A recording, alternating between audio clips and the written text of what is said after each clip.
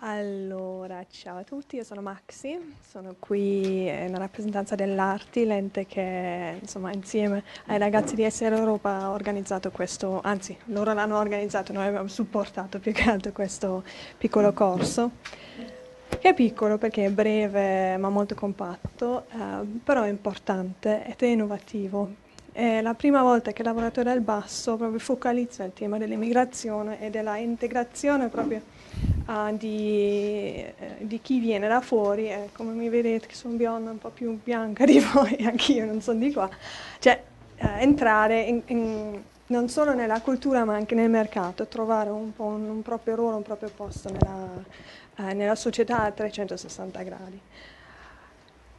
Cosa vuol dire integrare? Cioè, io Vengo dalla Germania, sono venuta qua nel 2006, sembra una cosa abbastanza scontata e facile, ma non lo era per me. Uh, ma non voglio piangere, eh, che giusto voglio condividere un, un'esperienza che per, um, cioè per me che mi vedo come comunque cittadino europeo, che comunque ho viaggiato prima, ho incontrato italiano in Norvegia, prima ne parlavamo, mi ha portato qua perché ho detto Beh, vabbè in Italia è bello, vediamo, troverò lavoro, farò qualcosa, saremo insieme. Già quel fatto, troverò lavoro, per me che sono comunque come cioè, tanti qua, europea, pensiamo che questo mondo europeo, ci siamo, no? andiamo dove vogliamo, ci integriamo, troviamo lavoro, siamo tutti uguali no, non era così, cioè, io sono del nord della Germania, vengo dal sud dell'Italia, era il primo culture shock nella mia vita. Uh, parliamo di due paesi che hanno fondato diciamo, i primi passi della, della com- eh, comunità europea insieme negli anni 50, cioè parliamo di paesi che sono molto vicini e che comunque lavorano insieme da, da decenni. E nonostante ciò per me era difficilissimo arrivare qua. La lingua, la cultura, le abitudini, gli orari, cioè un sacco di cose. Ora io mi chiedo, se per me era difficile, per chi viene ancora da più lontano, per chi deve affrontare ancora altri aspetti, eh, per chi magari ha ancora più difficoltà di entrare in un mercato di lavoro che è proprio di un'altra, cioè un altro mondo, cioè come deve essere? Cioè, per me veramente solo venire con una famiglia che mi accoglieva, con un ora marito che mi voleva bene, con amici che mi prendevano con le braccia aperte perché cioè, c'era uno che conosceva, che voleva bene a me, allora tutti volevano bene a me perché qua è così. Era difficilissimo per qualche anno, poi parli la lingua, integri e vabbè.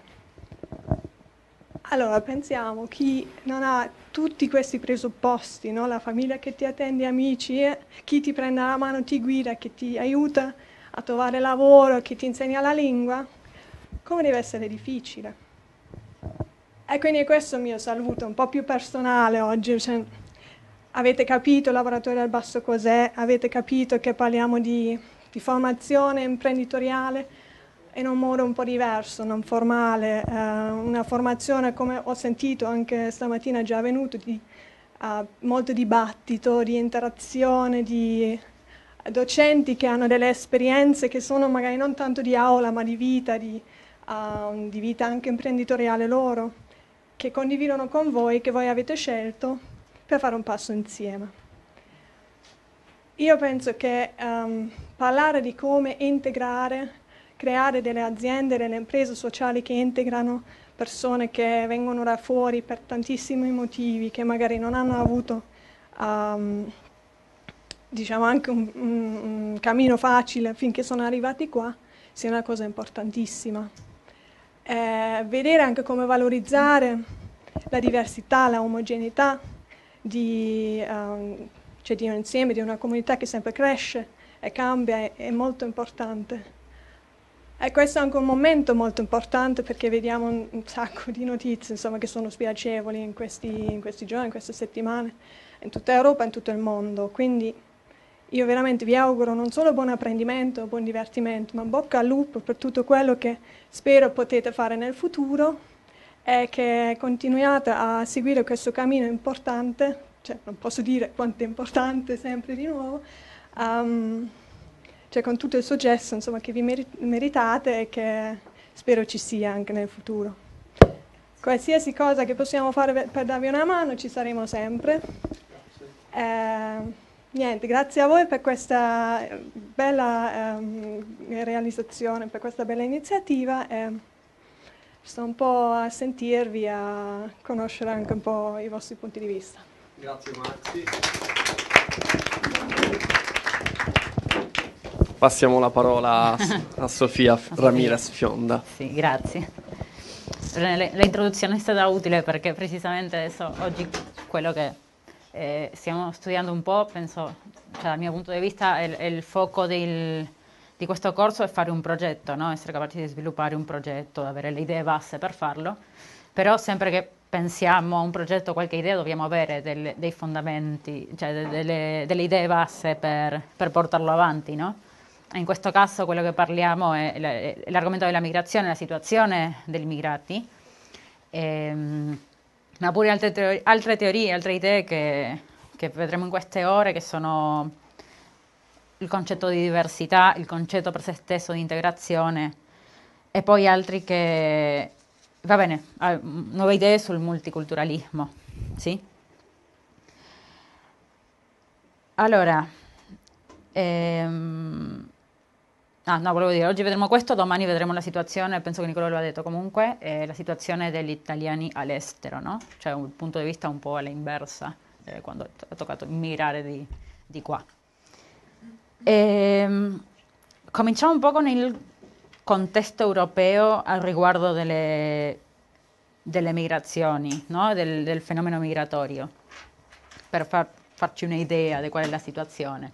Perché come abbiamo menzionato nella prima parte della, durante la mattina, ehm, negli ultimi anni eh, il fenomeno migratorio si è intensificato nell'Europa, no? ma pure in tutto, in tutto il mondo Abbiamo accennato alcune, alcuni motivi no?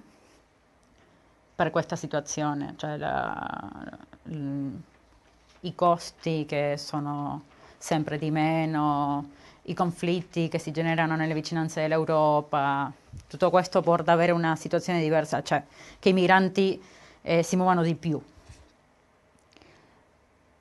Nell'Europa in particolare abbiamo eh, 500 milioni di europei, ma da questa, la popolazione, eh, scusate, un po' di più di 500 milioni di persone, di abitanti, il 6% sono, eh, sono persone nate fuori dall'Europa, sì?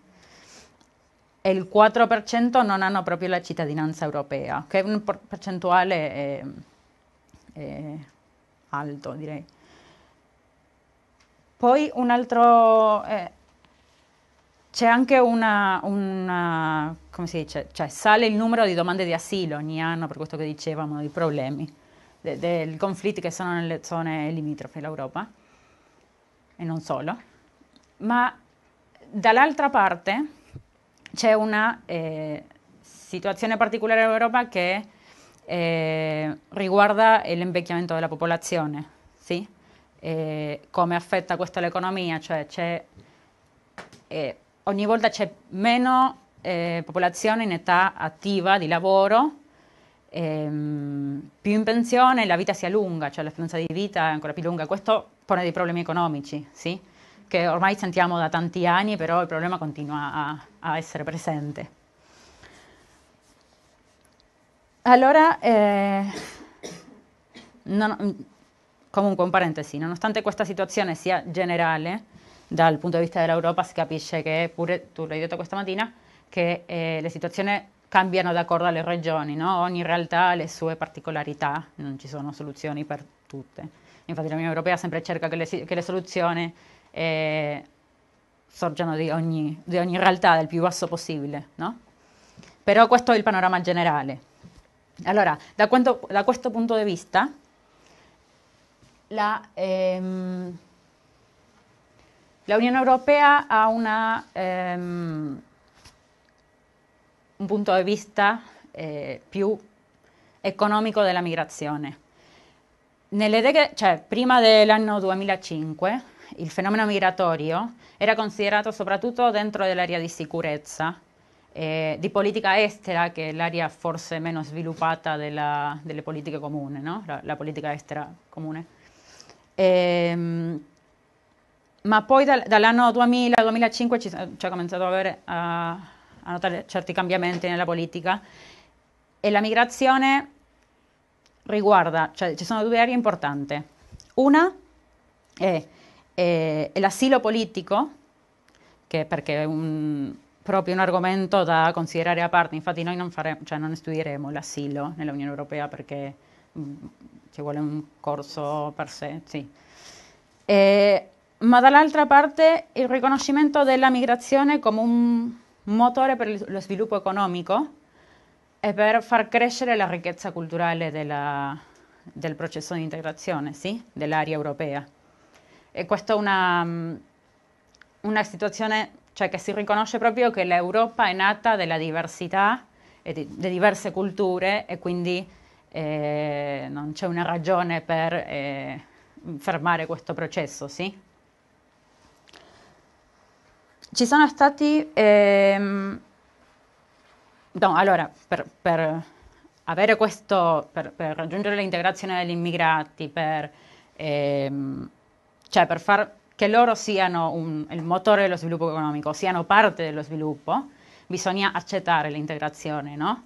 E evident- questa è diventata ehm, un obiettivo, l'immigrazione de, de, delle, degli immigranti irregolari, un altro argomento che sempre si, si sente nell'Unione Europea, a partire dalla strategia eh, Europa 2020 e il programma di Stoccolma, che non vedremo eh, in dettaglio, no?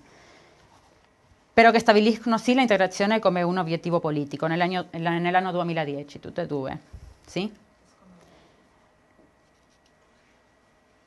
Allora, ehm,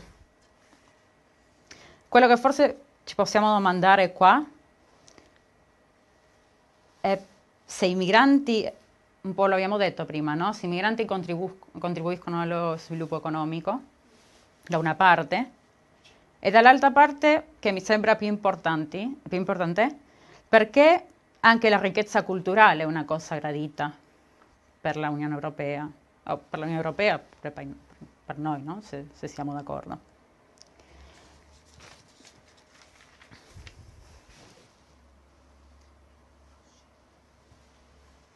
Una domanda? Ah, scusa. E nell'agenda europea per l'integrazione dei cittadini di paesi terzi, no, come cittadini di paesi terzi si intendono questo 4% della popolazione che non ha la cittadinanza europea, che abita regolarmente nell'Unione Europea. Si riconoscono certe sfide per l'integrazione che sono ancora presenti e che devono, ehm, eh, che devono guidare tutte le idee, tutti i programmi, gli strumenti che partono dagli stati, dai governi di diversi livelli e dagli altri attori e pure da, dalla Unione. No? Da una parte i livelli occupazionali degli immigrati sono ancora bassi, se si, fa, se si paragona con quelli de, eh, della popolazione de, con cittadinanza europea, e soprattutto c'è il problema delle donne, che come abbiamo menzionato questa mattina è il fenomeno migratorio negli, nelle ultime decade si è femi, femminizzato, si dice? Sì. sì. Ci sono più donne che migrano, però almeno nell'Unione Europea non riescono ancora a trovare uno spazio dal punto di vista del lavoro, cioè accompagnano di più le famiglie, eh, però manca un po' un'inserzione da quel punto di vista. Un secondo, una seconda sfida è il fatto di avere una forza di lavoro immigrata sovraqualificata per le posizioni che stanno ricoprendo. Sì? E, cioè, hai delle persone con certe capacità, con certa formazione accademica, con certa esperienza, che però quando vengono all'Europa si trovano a fare delle, dei lavori che non si corrispondono con questa formazione. Poi altre sfide che comunque non saranno punti importanti per noi in, questo, cioè in queste ore. E il, ris- il, rischio crescente di esclusione so- sociale che continua a essere, a essere considerato importante. La disparità in termini di rendimento scolastico dei migrati nella, nelle scuole, cioè quando sono ancora minorenni. E poi la pensione pubblica per la scarsa integrazione, che comunque noi focalizzeremo nei, nei due primi punti, come ho detto per Eh, L'agenda europea per l'integrazione dei cittadini dei paesi terzi un documento della Commissione europea che è stato eh, pubblicato nel 2011, sì? ancora continua vigente, è in vigore. E in questo documento l'Unione Europea mette, eh, no, mette a disposizione degli Stati membri certi strumenti che considera che sono importanti per ehm, involucrare distinto, diversi attori per l'integrazione dei migrati. Sì? Tra gli strumenti più importanti, vogliamo menzionare alcuni, è soprattutto quello che dicevamo prima della integrazione tramite la partecipazione. No? Nel modulo precedente il fatto di eh, lavorare nei livelli più bassi, eh, perché cioè, eh, nei rapporti mh, quotidiani dove dove forse riusciamo a capire meglio chi è l'immigrato perché qua è, è, è, riusciamo a creare un ambiente propi, cioè, proprio per il, suo, per il suo adattamento. Le, dentro l'integrazione tramite questa, cioè a livello locale, proprio quotidiano, la lingua è molto importante, cioè quello che fanno qua è riuscire a far capire a loro, a fare eh, imparare la lingua italiana è di sua importanza per l'integrazione, è un punto fondamentale. Poi la partecipazione al mercato del lavoro ha una particolare rilevanza che vedremo ah, in continuazione. La, ehm, il lavoro sul riconoscimento delle competenze e i titoli di studio è un'altra un'altra area di, che si promuove diciamo, di, per generare più eh, strategie politiche, perché è un problema se qualcuno si è trasferito per studiare dentro l'Europa, sicuramente saprà che è pure un problema il riconoscimento dei titoli dentro l'Unione Europea, quindi per quelli che vengono da fuori è ancora più difficile, sì? extraeuropei. E un altro punto che è sempre importante è la informazione che si brinda agli immigrati sulla creazione di, imp- di imprese, su quali, non solo quali benefici, ma quali sono le procedure per avviare un'azienda o per, per generare un negozio, perché quello è considerato uno dei principali canali dell'integrazione, l'imprenditoria straniera. Infatti poi vedremo delle, dei numeri sulla imprenditoria in Italia eh, di stranieri che sono veramente eh, cioè, numeri importanti per l'economia, no? Dal punto di vista dei minorenni che diciamo prima e del sistema scolastico, ehm, l'Unione Europea indica sempre la necessità di adeguare le nuove strutture scolastiche alla diversità. No? Adesso parleremo su cosa è il diversity management ehm, e come funziona e come beneficia le organizzazioni, però de, bisogna avere personale eh, nelle scuole ma in tutti i servizi sociali pubblici adeguato alle nuove esigenze di una popolazione di immigrati eh, ogni volta più forte. Sì? Quindi servizi socia- sociali e sanitari inclusi, cioè che siano disponibili per tutti, ma pure che, sia, ehm, che siano capaci di ricevere persone con un background diverso a quelli degli italiani. E poi per finire con, con, cioè con l'agenda europea um, per l'integrazione. È sempre importante pure la partecipazione politica, che è, è un argomento che è diverso d'accordo al paese, allo Stato membro dove si, si considera.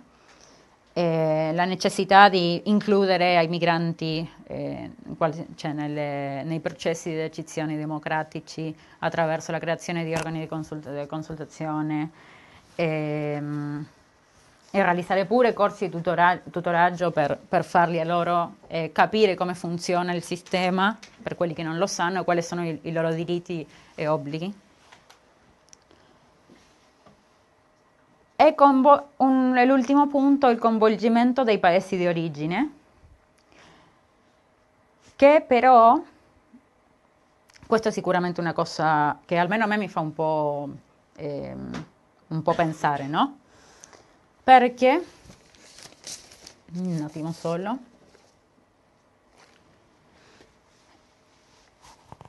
al riguardo della cooperazione con i paesi d'origine degli immigrati eh, la Unione Europea ha deciso esplicitamente di co- combattere, tra virgolette, eh, i motivi per i quali gli immigrati arrivano all'Unione Europea, no?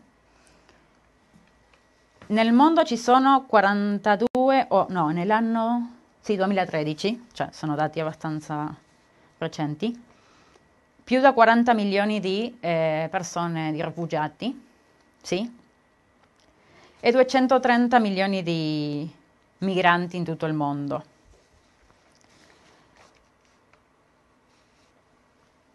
Nell'Unione Europea, come abbiamo detto, sono 30 milioni e il 22 milioni di questi vengono di paesi che hanno problemi economici, cioè che hanno dei problemi economici e che quindi migrano per, eh, per motivi, cioè con lo scopo di avere una, una vita, un lavoro migliore, una situazione più favorevole. Allora, eh, la strategia europea per questi, cioè per i paesi che sono che inviano delle persone perché hanno problemi economici, quando c'è una situazione di guerra ovviamente è più difficile intervenire perché eh, se c'è una guerra non è che la guerra si può fermare per evitare il flusso di migranti verso l'Europa, no? È più, la situazione è più complessa.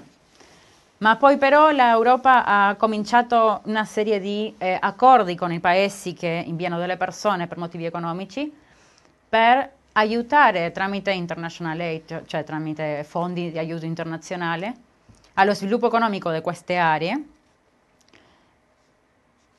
e per è rinforzare il ritorno degli, migranti, no? Cioè sono due, mm, eh, due, aree diverse ma che si lavora sempre con il paese di origine. Infatti nella, nel 2007-2013 eh, i fondi europei L'Unione Europea aveva l'Integration Fund, che era proprio per progetti destinati ovviamente all'integrazione dei immigrati, cioè come lo dicono il nome, eh, il fondo per i rifugiati e il fondo The Return, che eh, includeva la collaborazione con ehm, i paesi per fomentare la migrazione circolare, sì? Ormai questo era un altro, un altro, punto che volevo dire questa mattina e poi non, non l'ho fatto, che non solo la migrazione è cambiata in queste ultimi, non so, decade, 30 anni, 40 anni, ma pure che adesso lo stile di vita è cambiato, nel senso che non si migra una volta per rimanere in un paese come hanno fatto gli italiani in Argentina, no? C'è una situazione di, di migrazione circolare, di vado a studiare fuori, vado a fare l'Erasmus, torno, eh, ma poi riparto, sto due anni nell'America studiando o facendo un'esperienza all'estero e quelli sono, cioè, quella è una popolazione migrante che è difficile di, di gestire alla fine, perché non è né uno che se n'è andato né uno che forse torna, che forse no, che transitoriamente è fuori, che torna dopo e dopo avrà la pensione in Italia, ma è stato fuori dieci anni. E quindi eh, questi erano fondi europei per l'integrazione nel 2007 e nel 2013. Adesso nel 2014 ha cambiato la struttura e si è deciso di fare un solo fondo, il Fondo per l'Asilo, Migrazione e Integrazione, ehm, che però, è, che infatti è un fondo pure con maggiore budget, è un po' quello cioè, che fa alla fine è, è unificare un po' la politica dell'Unione Europea in materia di migrazione, no? non, cioè, non, non dividere il problema. Il problema dell'integrazione, il problema dei, migrati, dei rifugiati, il problema della migrazione circolare, del ritorno al paese di origine, è tutto, cioè, è tutto un complesso. Sì?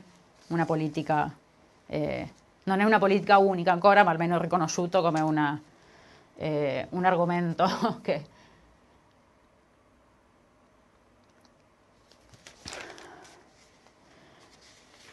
Quindi, prima parlavamo eh, dell'integrazione tramite la partecipazione, ma la, che l'importanza della partecipazione al mercato di lavoro, sì? E su questo punto vorrei fare una, cioè, tipo, eh, cioè vorrei eh, accennarlo come il più importante.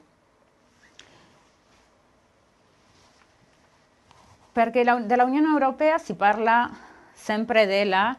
Ehm, una delle sfide precisamente è l'incapacità di, eh, di, lottare contro la sopraqualificazione degli immigrati, sì? che è sempre un problema lo stesso. Allora al riguardo abbiamo certi concetti che sono un po' di teoria della, eh, della migrazione e li possiamo dibattere insieme se, se volete. Eh, il capitale umano basicamente è un termine che si usa per, eh, perché non tutti siano d'accordo, no?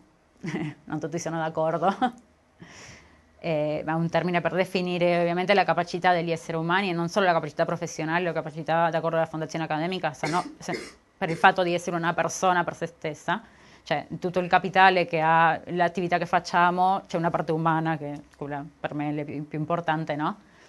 E, ehm, allora, capitale umano viene a definire quello, no? la partecipazione de- dell'essere umano. Ma quando parliamo di rapporti tra stati, eh, paesi d'origine e paesi di destinazione, eh, a riguardo del capitale umano e di questa sovraqualificazione dei lavoratori, di questo mm, eh, inserimento nel mercato del lavoro, sono questi concetti che eh, servono per identificare i problemi nella popolazione, cioè se noi siamo, stiamo studiando l'argomento sia del paese di origine sia del paese di destinazione, eh, sempre servono, per, cioè, de, dipende dalla nostra prospettiva. Brain drain sicuramente, sicuramente lo avete già sentito, no? Sì. sì. Traduciamo in italiano. Sì. Fuga dei cervelli. La fuga dei cervelli. Sì.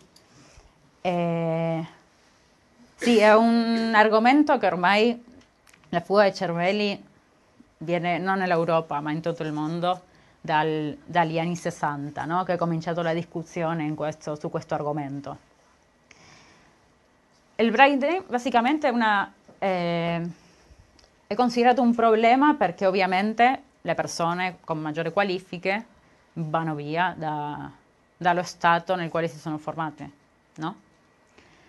E questo è stato considerato un problema negli anni 60 soprattutto perché, ehm,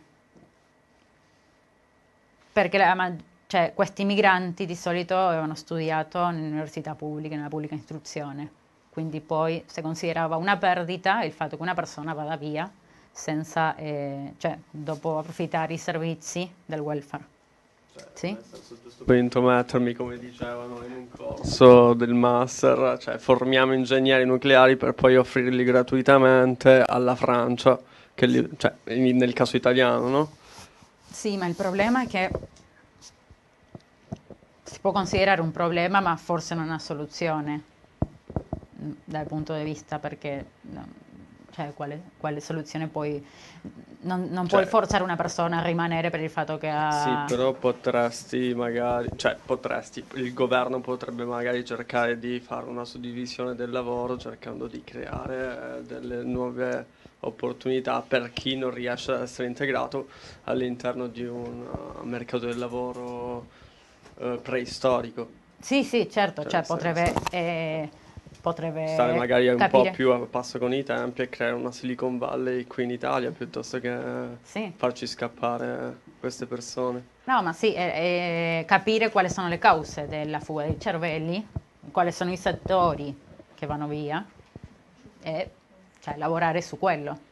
Comunque, se una persona si è laureata, laureata nella pubblica istruzione e vuole partire,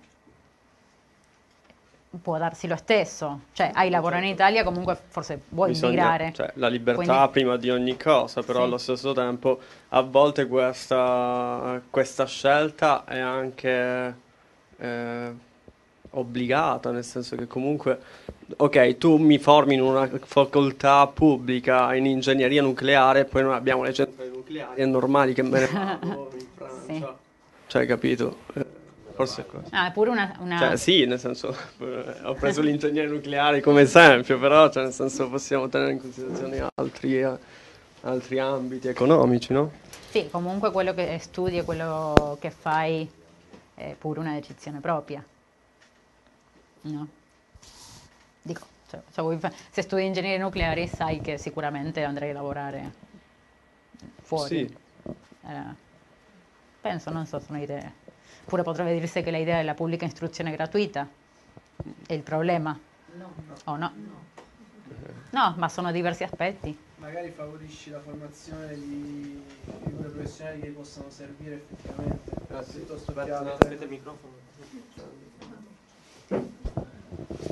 Ripeti per favore. magari favorisci la formazione di figure professionali che sono più adatte alla, allo Stato, che servono più allo Stato piuttosto che altre figure professionali, non sì. che non uh, permette la formazione di ingegneri nucleari ad esempio, però magari favorisci, non so, c'è una carenza in un determinato settore, mm, de- desti- destini più fondi a quel settore piuttosto sì. che a un altro. Sì, sicuramente. Potrebbe essere un'opzione. È un problema. Microfono, microfono. No, ma non ho detto che deve, ho detto che magari favorisci. cioè, non è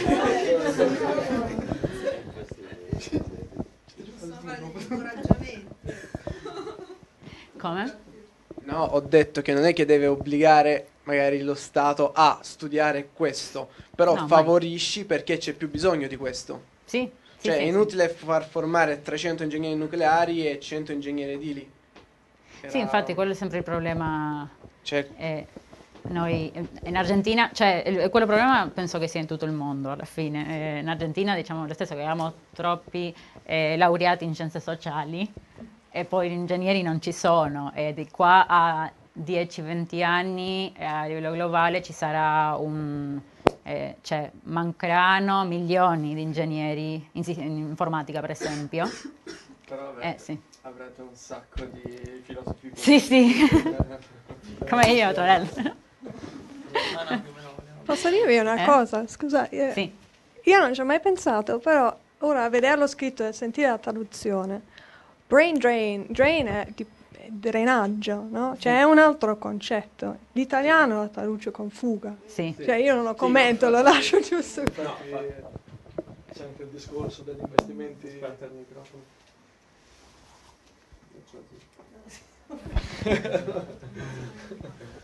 In Italia c'è anche il discorso della mancanza di investimenti proprio nel settore dell'educazione che crea la fuga dei cervelli, si intende anche la, cioè nell'ambito della ricerca dove magari a livello universitario si raggiunge il livello della laurea e poi nello step successivo non, non ci sono più possibilità perché mancano materialmente i fondi e quindi si parla di fuga proprio in questo senso qua, prima di andare sul campo del mercato privato, del lavoro.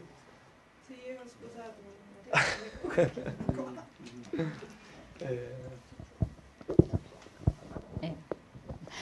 Comunque, ehm, questa visione, il brain drain, è legata a una concezione che pure abbiamo menzionato prima, eh, del fatto di vedere l'economia come un gioco di, come si dice, di somma zero? Il somma zero? Un gioco di somma zero, cioè uno perde e un altro guadagna, no? Cioè, un Stato, in questo caso un paese, perde una persona, un cervello, e un altro guadagna una, un capitale umano in più, sì?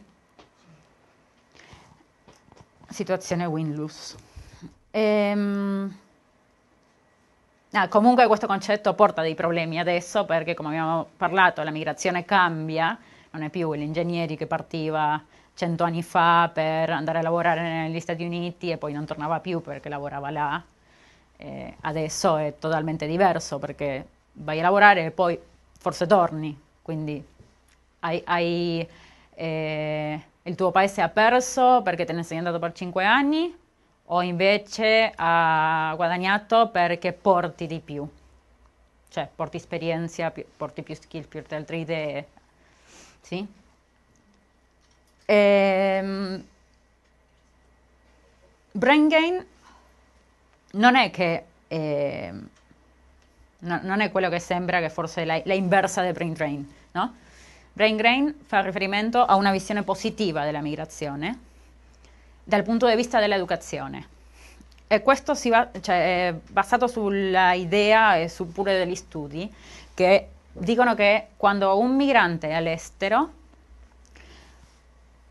è pure un, un periodo di formazione no? per lo stesso paese, se, parliamo da parte del paese di origine, scusate, eh, quando un migrante all'estero un percorso di formazione è, forse non torna, però comunque la sua esperienza impatta positivamente nella popolazione, perché non è che, rompe, cioè che ehm, finisce tutti i rapporti con il suo paese, cioè ha degli amici, ha della famiglia, torna eventualmente, se non definitivamente, torna ogni tanto, quindi comunque dal punto di vista eh, dell'esperienza educativa può avere un impatto positivo. E anche perché eh, di tutte le rimesse che si inviano nel mondo, da, dalle persone che lavorano, tra, ai lavoratori migranti, alle famiglie che rimangono nel paese di origine, il 10% per cento è, è investito in educazione e quello è sicuramente un dato eh, valioso, cioè non è... Hm?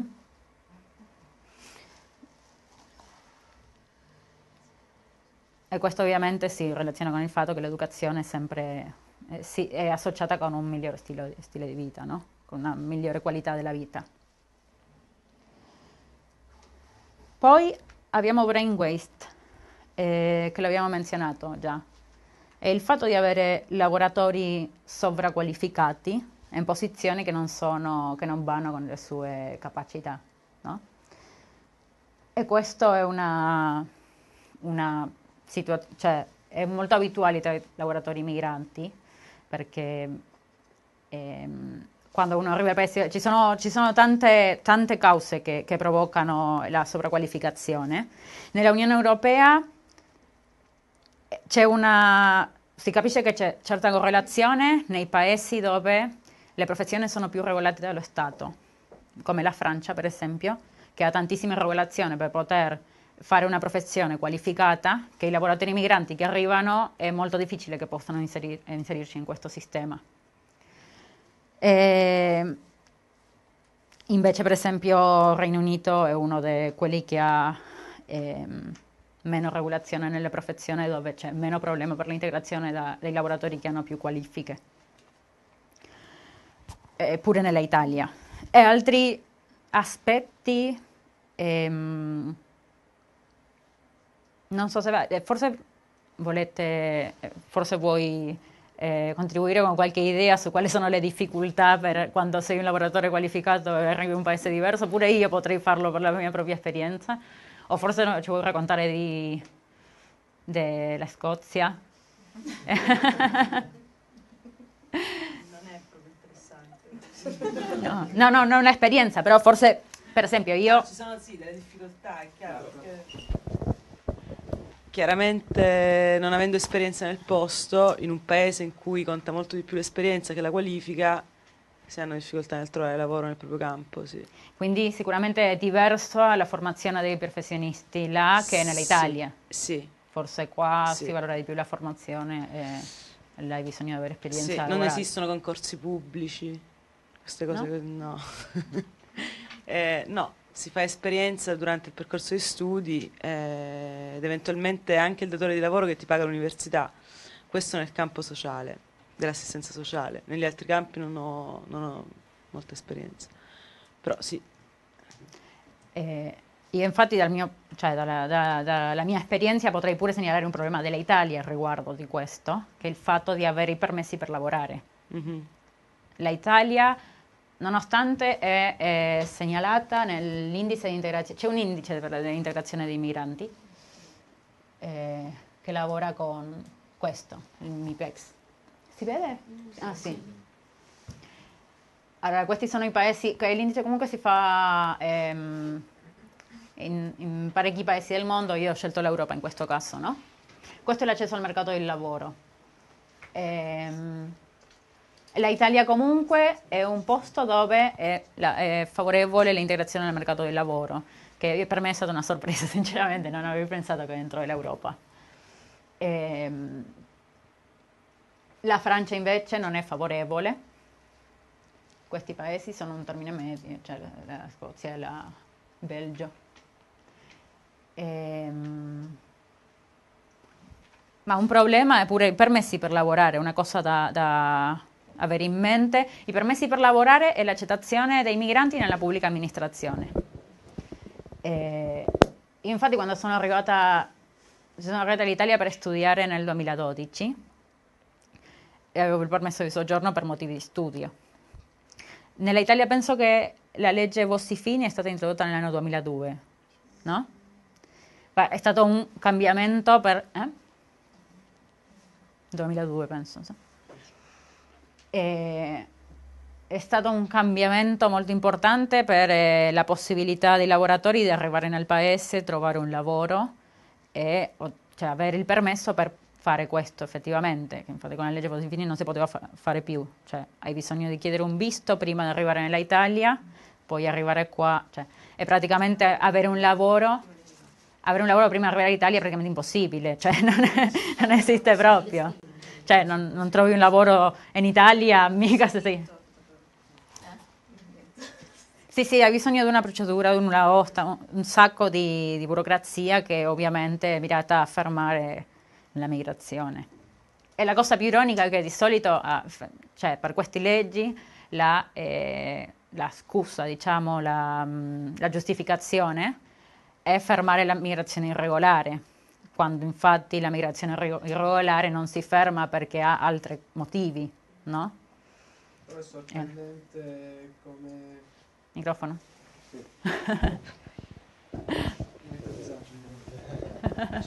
sì. Sorpre- io parlavo con un professore italiano in Spagna che lui si occupa proprio di immigrazione, di permessi di soggiorno.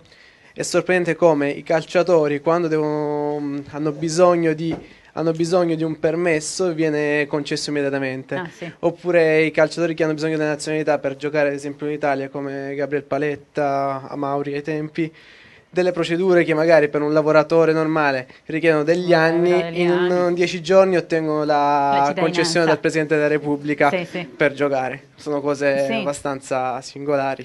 Cioè, sì, sulla, sulla, concezione in Argentina abbiamo avuto gio- parecchi giocatori che hanno avuto la cittadinanza per poter giocare in Italia. Sì. Ah, per il fatto che avendo la famiglia italiana è giusto, no? È un diritto che hanno. Però che sì, che cioè, cioè, in dieci giorni si de- sì, uno aspetta due anni per averla, tre anni e loro in, in, subito.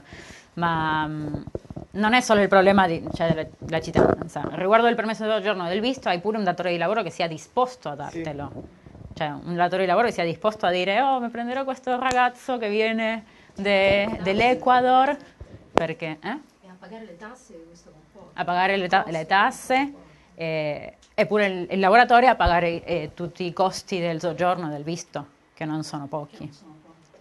Ehm. Su questo io ti aggiungo, uh, vabbè, sempre non extracomunitario a questo punto, però nel 2006 quando io sono arrivata qua mi serviva ancora la carta di soggiorno. Cioè, quindi neanche in Europa, neanche con tutta l'Unione, tutto quello che c'è di regolamenti tanti quanti la carta di soggiorno, quindi è quella legata al contratto di lavoro che ovviamente poi è precario, e, eccetera, eccetera. E, um, io ho dei carissimi amici che sono poi dalla Bulgaria e dalla Romania, che ormai comunque cioè, da anni fanno parte del, dell'Unione e ancora ci sono difficoltà per tessere sanitarie. Uh, e aspetti di questo tipo che sono sempre legati al contratto di lavoro, quindi in un contesto in cui comunque è difficile per tutti ehm, per chi poi non, è, eh, non, ha la cittadinanza o non è sposato, eppure essere sposato ha dovuto passare al consolato per farmelo riconoscere, perché poi non si sapeva. Um, però non, cioè, è, una sfida continua, se poi ci sono contratti di mezz'anno, di un anno, si deve sempre, anche per i servizi sociali, per quello sì. che è insomma, una sicurezza ah, teoricamente dovuta, ci sono sì. un sacco di persone a 30-35 anni che ogni anno si devono recare a uffici vari per rinnovare delle, delle tessere varie. Non è cambiato ancora. No. Eh, perché purtroppo la circolazione dentro l'Unione Europea è bloccata pure per gli europei. Cioè uno può spostarsi liberamente per viaggiare dentro l'Europa, ma non ha il diritto di decidere di cambiare residenza in un altro paese dell'Unione Europea. Non è possibile, cioè non è legalmente possibile. Io non posso stare più di tre mesi nella Germania se non ho un contratto di lavoro. Sì, posso o non posso? No, ah, ho ragione. Ah. Dip- questo dipende anche dal paese. Sì, cioè sì, il paese però... dovrebbe farlo fino al punto in cui è disposto a farlo. L'Unione ah. dice sempre vorremmo che sia sì. così, ma scegliete voi come lo applicate al vostro contesto nazionale e poi sono quelli dei tre mesi. Sì, sì, sì, però non, non è che se io decido domani di trasferirmi in Germania, stare là eh, senza lavoro per un anno per vedere cosa faccio, cioè posso avere i soldi per, per campare un anno senza, eh, senza lavorare, però non, non mi è permesso legalmente. Che comunque è anche un problema dal punto di vista dell'enforcement della legge, no? Perché, vabbè, tu non puoi stare qua più di tre mesi, però come controllo che sei tornato in Italia? Cioè, se io vado in Germania, io italiana, vado in Germania, voglio stare più da tre mesi, al quinto mese mi dicono tu stai qua da troppo tempo senza un contratto, non hanno, non hanno, un mezzo, un documento per controllare che io non sia tornata. Io posso dire sono tornata tre volte in Italia in cinque mesi. Ma basta che lo fai pure. Cioè, a parte che lo puoi sempre dire, eh, anche ai tempi sì. della carta di soggiorno era sempre quello il ragionamento. Sì, sì, no, Ma cioè. poi cioè, basta che per una settimana effettivamente torni durante la vacanza, vai in Puglia per dire. No, ma voglio dire, se non lo fai nessuno lo può controllare. Ah, chiaro. Perché nessuno ti controlla nelle frontiere. Quindi sì. hanno delle contraddizioni interne sì. che ovviamente perché ci sono degli stati che eh, hanno ancora delle sal- eh, salvaguardie. Sì, cioè, cioè che si rifiutano un po' a, a, completare questo processo di libera circolazione totale, ma allo stesso tempo ehm, ormai cioè, la libera circolazione c'è, quindi circolazione. con i rifugiati capita lo stesso. Cioè, io, se io vengo e chiedo di, lo status di rifugiato qua in Italia, poi trasferirmi in altri paesi, paesi dell'Unione Europea, tra gli Stati membri, è un problema infatti non potrei farlo teoricamente. Ma ci sono i rifugiati che arrivano in Italia e chiedono l'asilo in Germania perché che vogliono alla, arrivare direttamente all'Europa del Nord. E, ehm, dove eravamo? Ah, brain waste. Torno indietro.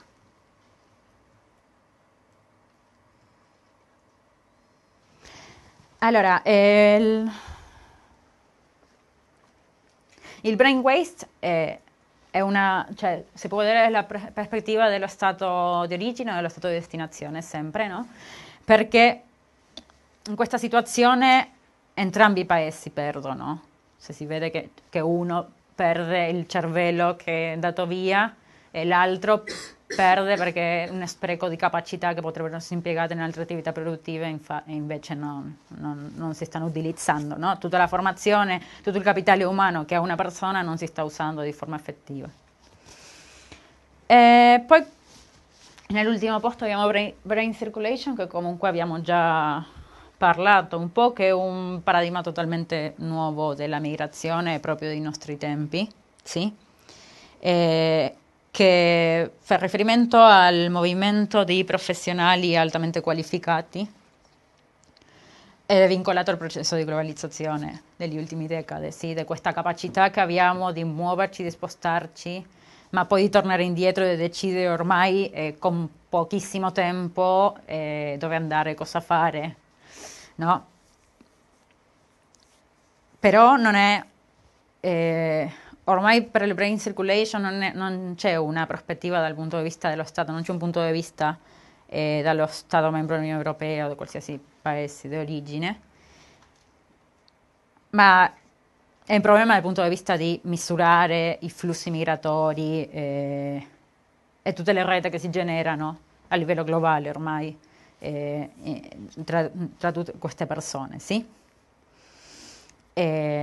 Ed è correlato con una, la brain circulation è correlato con, una, con un termine che è quello di migration culture, la cultura della migrazione per se stessa, sì? E, che si considera un atteggiamento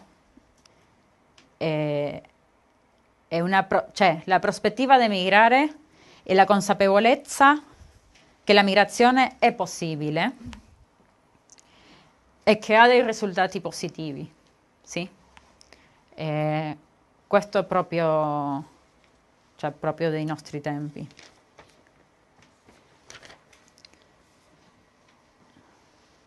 Avete qualche domanda su questi? Quindi la, il brain circulation... Il microfono, Victor. brain circul- circulation come, non so, homo migrants. Cioè, una, l'uomo che sì. si sposta naturalmente sì. senza ostacoli, cioè, come se fosse la cosa più naturale del mondo. Eh sì, è un po'... Però, sicuramente tu lo vivi pure così. Però no? in questo caso parliamo di persone altamente qualificate, quindi ricche, appartenenti persone... alla sfera occidentale del mondo. Cioè parliamo sempre di questa parte del mondo. No, perché? O comunque classe dirigente di un paese africano, amer- latinoamericano. No, parli con di persone che hanno un certo livello di educazione del quale tu mm-hmm. sei parte. Perché non è... Cioè, è ormai l'educazione, la high skill.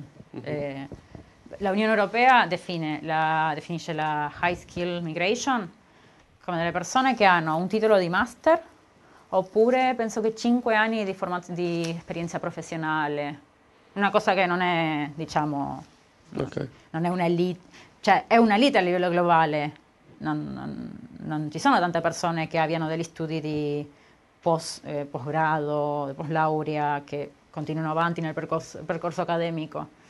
Ehm, infatti nella direttiva della Blue Card, della, la conoscete la Blue Card, del permesso dell'Unione per High Skill Migration, là si definisce quale, eh, quali sono i requisiti per essere considerato high skill. No. Sì. Mi pare che venga fuori ancora una volta le cose le cose di cui si parlava questa mattina, che il diritto alla circolazione rimane sempre un diritto esclusivo e mm. stratificato per gerarchie di, di capitale, nel, sen- nel, senso economico che nel senso di, di competenze, cognitivo.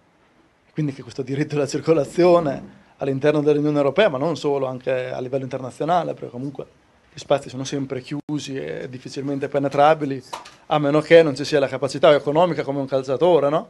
un calciatore è un grande ammasso di capitale, perché in fondo è per quello che trovano i visti, perché, insomma, perché producono in qualche maniera, ma non solo un calciatore, i calciatori sono sempre gli esempi tipici perché li conosciamo tutti, però qualsiasi un, imprenditore, un l'esempio di questa mattina, eh beh, questi circolano, eh, questi non hanno le barriere, il passaporto, non è che devono trovare i, il datore no. di lavoro, eh, cioè, non sono speciali. problemi. Ah, e quindi anche la circolazione in un mondo globale apparentemente aperto, almeno secondo le retoriche no? di questo spazio veloce, comunque sono fortemente stratificate, gerarchi- gerarchizzate a seconda delle classi, ritornare quindi, primo uomo, secondo Microfono. uomo, uomo e poi uomo in via di sviluppo. no, è vero che comunque la circolazione è stratificata e ovviamente non è dis- disponibile per tutti, ma allo stesso tempo è vero che ci sono sempre di più persone che hanno accesso a mobilitarsi nel mondo. Cioè ormai penso che cento anni fa nessuno pensava in andare per un weekend a Budapest.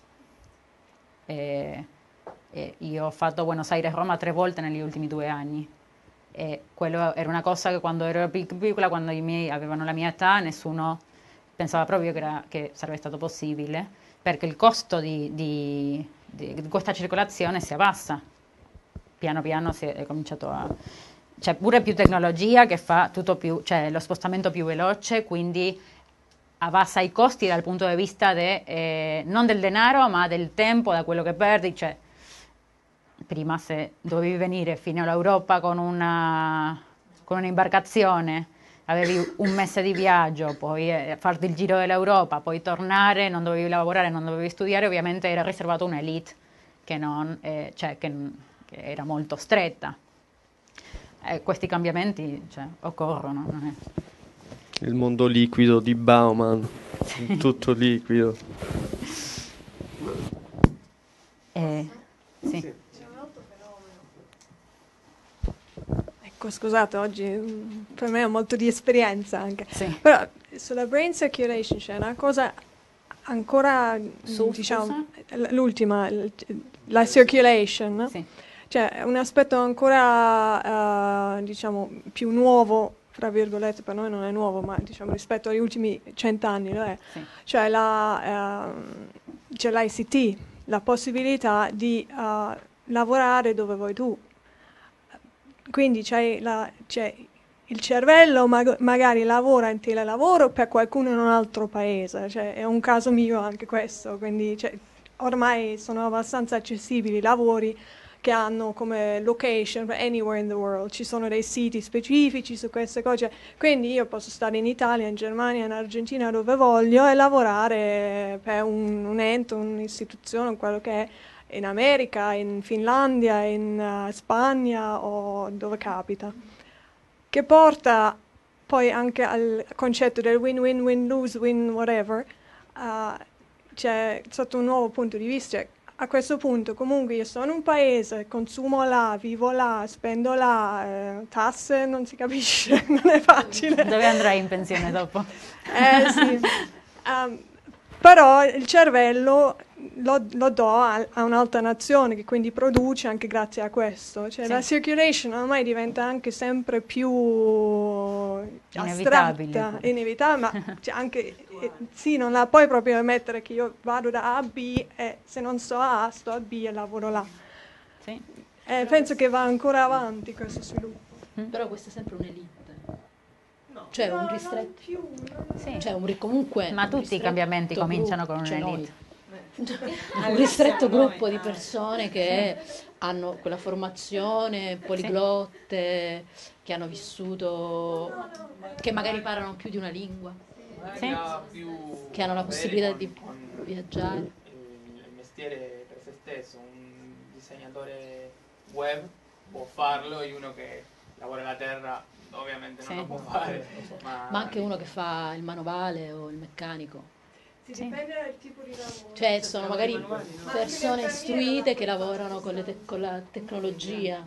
Cioè, non, non, non, è tanto in Europa quanto magari in America, dove veramente mm. ci sono delle possibilità a distanza per lavori che non, sì, sì. non definiremmo magari di, di, altissimo livello, di elite, di quello che è. Cioè, dipende dall'attività che fai. Cioè, l'infermiera non, sì, l'infermiera non deve necessariamente sempre stare al paziente No? Eh, non in tutti i paesi l'infermiera è riguardato una figura, cioè, io spesso ovviamente mi scuso, c'è mio fratello che lo fa, però cioè, ci sono paesi che l'infermiera non è di alto livello come formazione, come lavoro però lo puoi fare a distanza ormai, eh, traduzioni, eh, mm. tutto il lavoro del web e, e, tantissime altre cose che poi possono Sì, e infatti quello, cioè, sono tutti eh, cambiamenti no, del paradigma, dello sviluppo, cioè del modello economico pure, dell'attività economica, eh, cioè del mondo alla fine. Essere capace di, di avere, questa, cioè, avere questa possibilità di trasferirti, di lavorare da qualsiasi parte del mondo solo attraverso la connessione internet, eh, perché fai quello, ti fa pure diventare un concorrente in un'economia che forse non conosci. non conosci certo. perché ormai qua in Italia il lavoro degli, degli, sviluppatori lo fanno meglio i ragazzi che sono nella India e guadagnano molto di meno e quindi e non, non sono mai stati qua in Italia.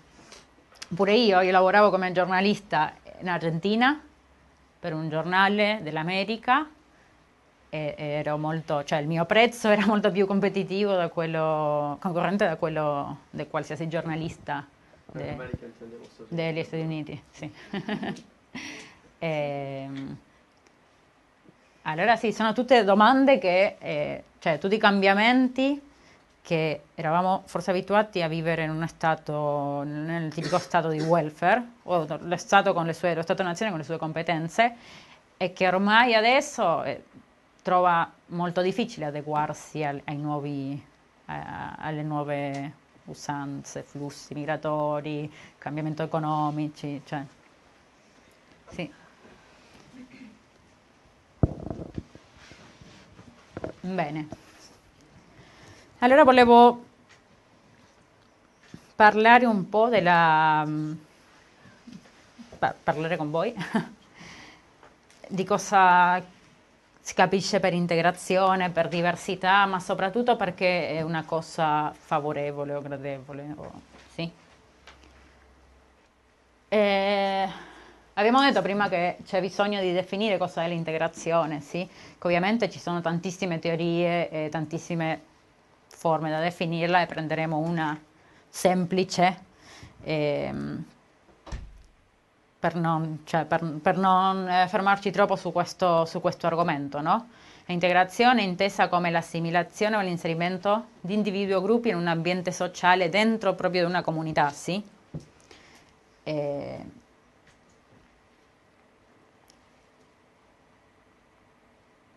Entonces, quindi, quali sono, cioè, quali pensate che forse sono i problemi della migrazione? della integrazione. Eh, abbiamo pure parlato questa, questa, mattina. Di solito per integrarci, eh, cioè uno, un migrante si vuole integrare in una società, trova delle divergenze culturali, sì? Se le divergenze culturali sono ampie, fa più difficile questa integrazione. Poi abbiamo menzionato l'impossibilità di entrare nel mercato del lavoro, ma anche può essere un problema l'indifferenza del, dagli immigrati, sì? Pure, mh, mm, chi era che aveva menzionato oggi il fatto che c'era forse una persona che non si voleva integrare in una società? Due, c'era un'altra ragazza là dietro che adesso non c'è. Ehm... No, sì, sì, la scelta, tranne quello che abbiamo parlato che la struttura ti fa, cioè, ti, porta a integrarti o ti costringe a essere escluso in alcune situazioni può darsi pure che, che le persone non vogliano farlo, no? Il concetto di integrazione lo abbiamo visto nella strategia europea, eh, lo, lo, ripetiamo adesso qua. Eh,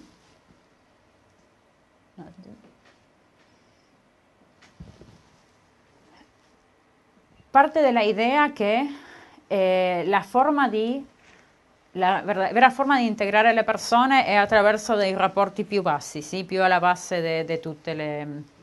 Eh, cioè, tutta l'interazione sociale. Nella società italiana, cioè il problema del razzismo, che è forse una, la contracara dell'integrazione, ehm, ci sono alcune analisi che eh, parlano su come questo, il razzismo si esprime nelle istituzioni, nella retorica politica, però questi problemi, così come l'integrazione parte dei rapporti sociali, cioè dei rapporti più bassi sociali, pure il razzismo parte della, eh, delle relazioni tra le persone. Una legge in Italia che può considerarsi razzista in qualsiasi parte del mondo, no? Io parlo dell'Italia perché adesso cioè, c'erano de, degli studi sulla... e perché siamo qua.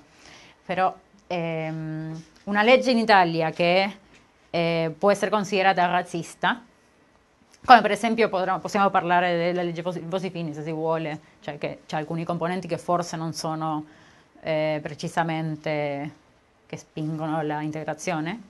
Eh, il, il razzismo è lo stesso, sì, sono sempre i rapporti, per questo l'argomento di lavorare sull'interazione sociale e partire dalla base dai governi locali ma pure degli attori che fanno parte della società civile.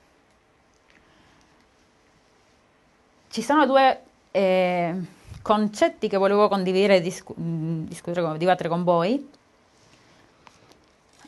e tutte e due vanno oltre il concetto di multiculturalismo.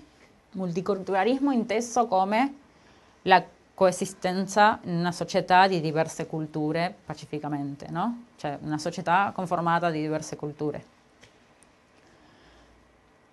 Da una parte abbiamo Cosmopolitan Sociability, che tradotto sarebbe ehm, sociabilità cosmopolita, sì? Sociabilità cosmopolita, no? E potrebbe essere considerato forse una skill, cioè una competenza, no? E la idea è creare relazioni sociali mirate all'inclusione e all'apertura al mondo, all'apertura al mondo, cioè non solo accettare e rispettare le diverse culture, ma utilizzare questa diversità culturale per sviluppare il proprio territorio, non solo dal punto di vista economico, cioè ehm, capire quali sono i vantaggi di questa diversità e generare dei rapporti e delle network che ci permettano di, eh, di sviluppare le nostre capacità al riguardo. Si è capito? L'ho fatto un po'. sì?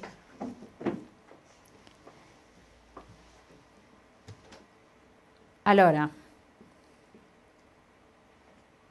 quindi abbiamo detto che questo va oltre il multiculturalismo. E, ehm, e questo, tu non hai spiegato il concetto di trans, transculturalismo, lo puoi, eh, lo vuoi spiegare? Perché sì, mi sembra che è molto... opposto... Ah.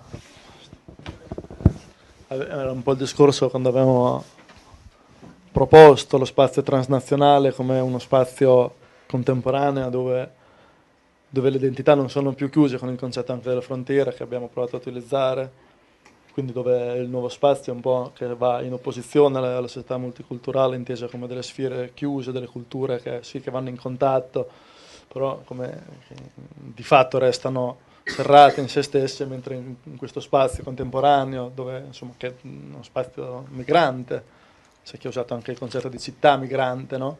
come città, anche le grandi città globali che sono la meta di, di continui flussi di viaggi, di informazioni, di culture e di di persone sostanzialmente, quindi non si parla più di un concetto multiculturale che indica una concezione chiusa dell'identità e delle culture e, delle, e dei migranti, ma di spazio transculturale, eh, proprio per il fatto di, di, considerare questa apertura e l'interazione, che l'interazione cambia di fatto la realtà e anche in opposizione al pericolo della segregazione, alla, insomma, il discorso che abbiamo fatto delle periferie, sempre riferendosi allo spazio urbano che insomma questa costruzione profondamente differenziata di nuovo anche fisicamente degli spazi e quindi anche delle relazioni e dove c'è il rischio serio che le culture restano, restino sostanzialmente divise e non in contatto.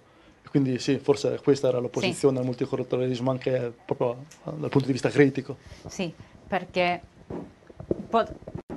cioè di solito quando... Voi? No, no. Ah. Per voi quali sono i problemi di accogliere un immigrato.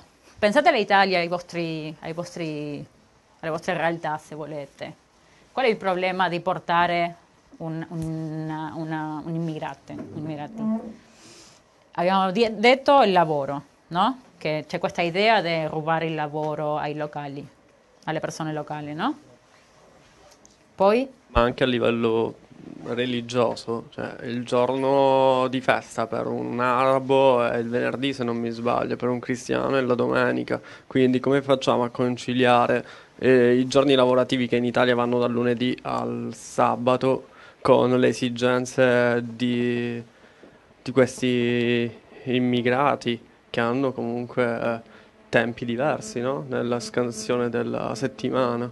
Sì, potrebbe essere considerato un problema. Cioè, anche perché, cioè, eh, perché il, tu cristiano la domenica puoi andare a pregare in chiesa, io musulmano il venerdì devo venire a lavorare? Sì. Questo. Altri?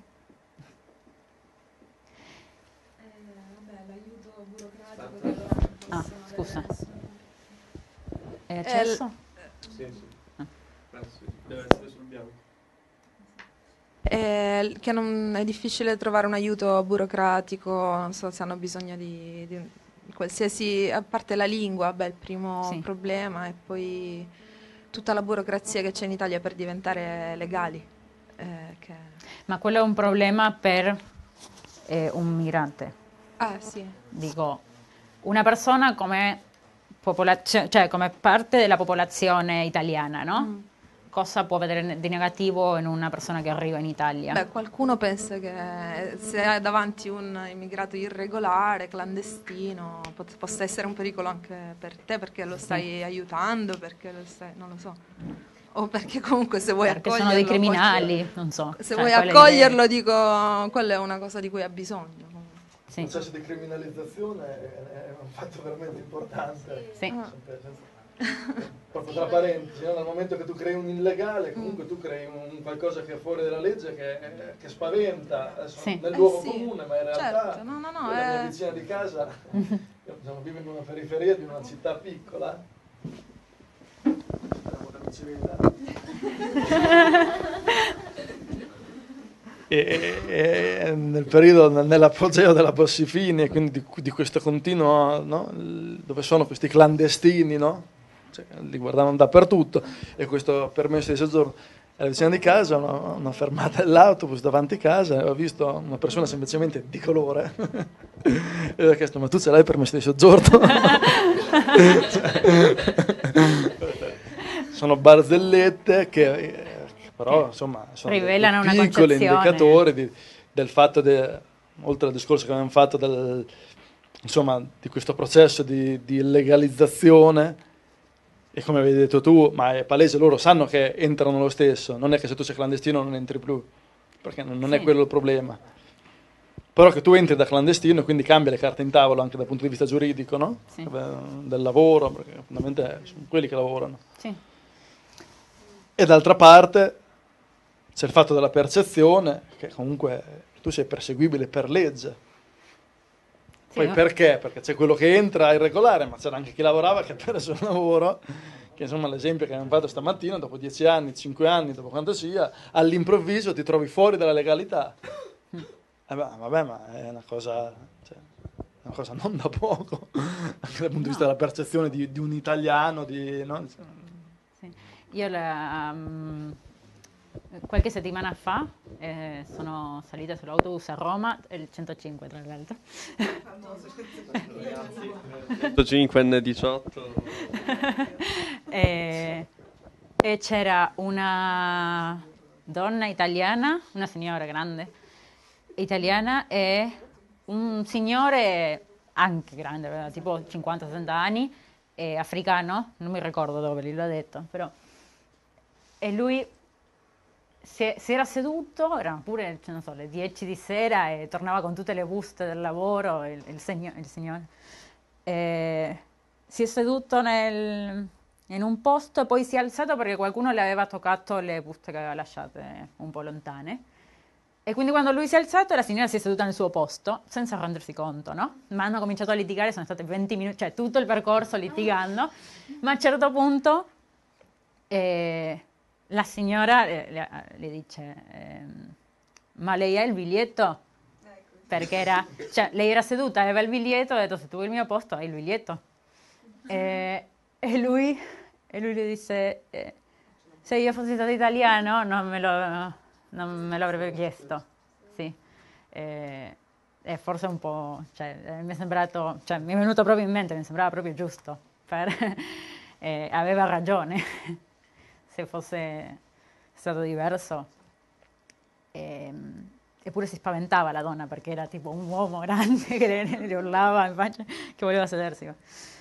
Ma per esempio con questo, con questo attentato nella Francia che abbiamo avuto purtroppo recentemente, si sono cominciati pure a alzare le voci. Con, con questi problemi sempre si alzano quei gruppi contro la migrazione eh, o contro l'Islam, o contro, no?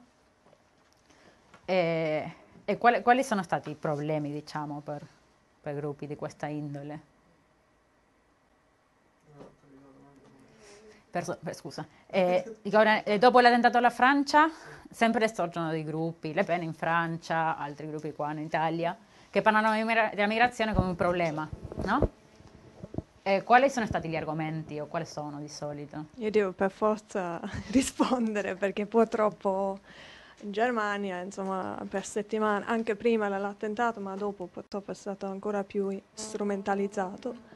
Ogni lunedì sono andati a marciare dei gruppi, specialmente a Dresda, dove erano migliaia, eh, contro l'islamizzazione, vabbè, non, non so neanche pronunciare uh, della, um, dello, cioè del, della, dell'Europa, diciamo. Loro bravi europei patriottici contro l'Islam.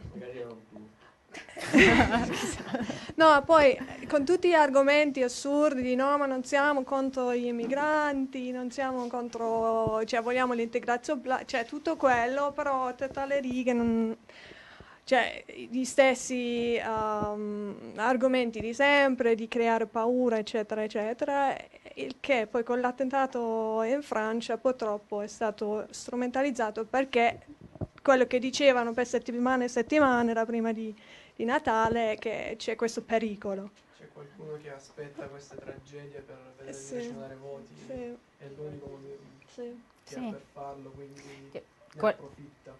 Che quello, cioè, comunque non significa, forse se ne stanno approfittando, cioè forse ne ci credono davvero e, e pensano che questi attentati sono dei problemi. Io dubito che ci credino davvero, mm, penso più che alcune persone che sono in politica sono talmente intelligenti, intelligente inteso come offesa, ehm, da essere talmente iene da ah, approfittarsi sì. di queste cose nonostante non ci credino davvero, ma pur di racimolare qualche consenso in più, di passare dalla parte del torto. Anche nel cervello stesso suo. Se io non la penso, quella cosa la vado a pensare perché mi serve sì. per... Ma loro lo, di- sì, ma loro lo dicono perché sì, poi hanno... Mi riferivo... Sì, no, sì. non mi riferisco a nessuno in particolare. No, no, ma, se... ma una, un politico che dice che il problema sono, sono gli, gli immigrati per prendere dei voti e poi prende dei voti, significa che ci sono le persone che ci credono che è vero quello. E, e sicuramente il, il, mio problema non è il politico che lo dice per, per, praticità, per guadagnare dei voti, ma che ci sono tante persone che veramente lo vedono come una minaccia. Magari è per paura, però... Sì. Io... C'è un aspetto sociale, anzi. Sì, sì. È venuto qua a suonare un paio di mesi fa il batterista francese Stéphane Rouget e lui diceva, lui è proprio di Parigi, vive anche, cioè, anche una casa qua giù in Salento, un mezzo migrante pure lui.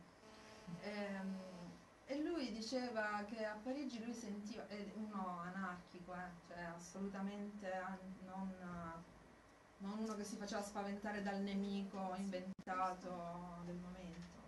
Eppure diceva che era spaventoso quanti, quanti francesi proprio si stessero affiliando a a questa... La pen. No, no, no, al, all'islamismo estremista. Ah.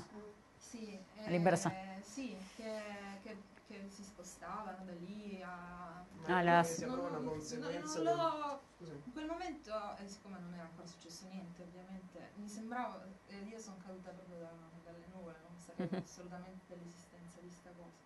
Sì. Però eh, lui ne parlava come appunto che gio- eh, giocavano su, sulla vuotezza, magari sulla disperazione eh, di tanta gente comunque povera ed era facile inculcare delle idee.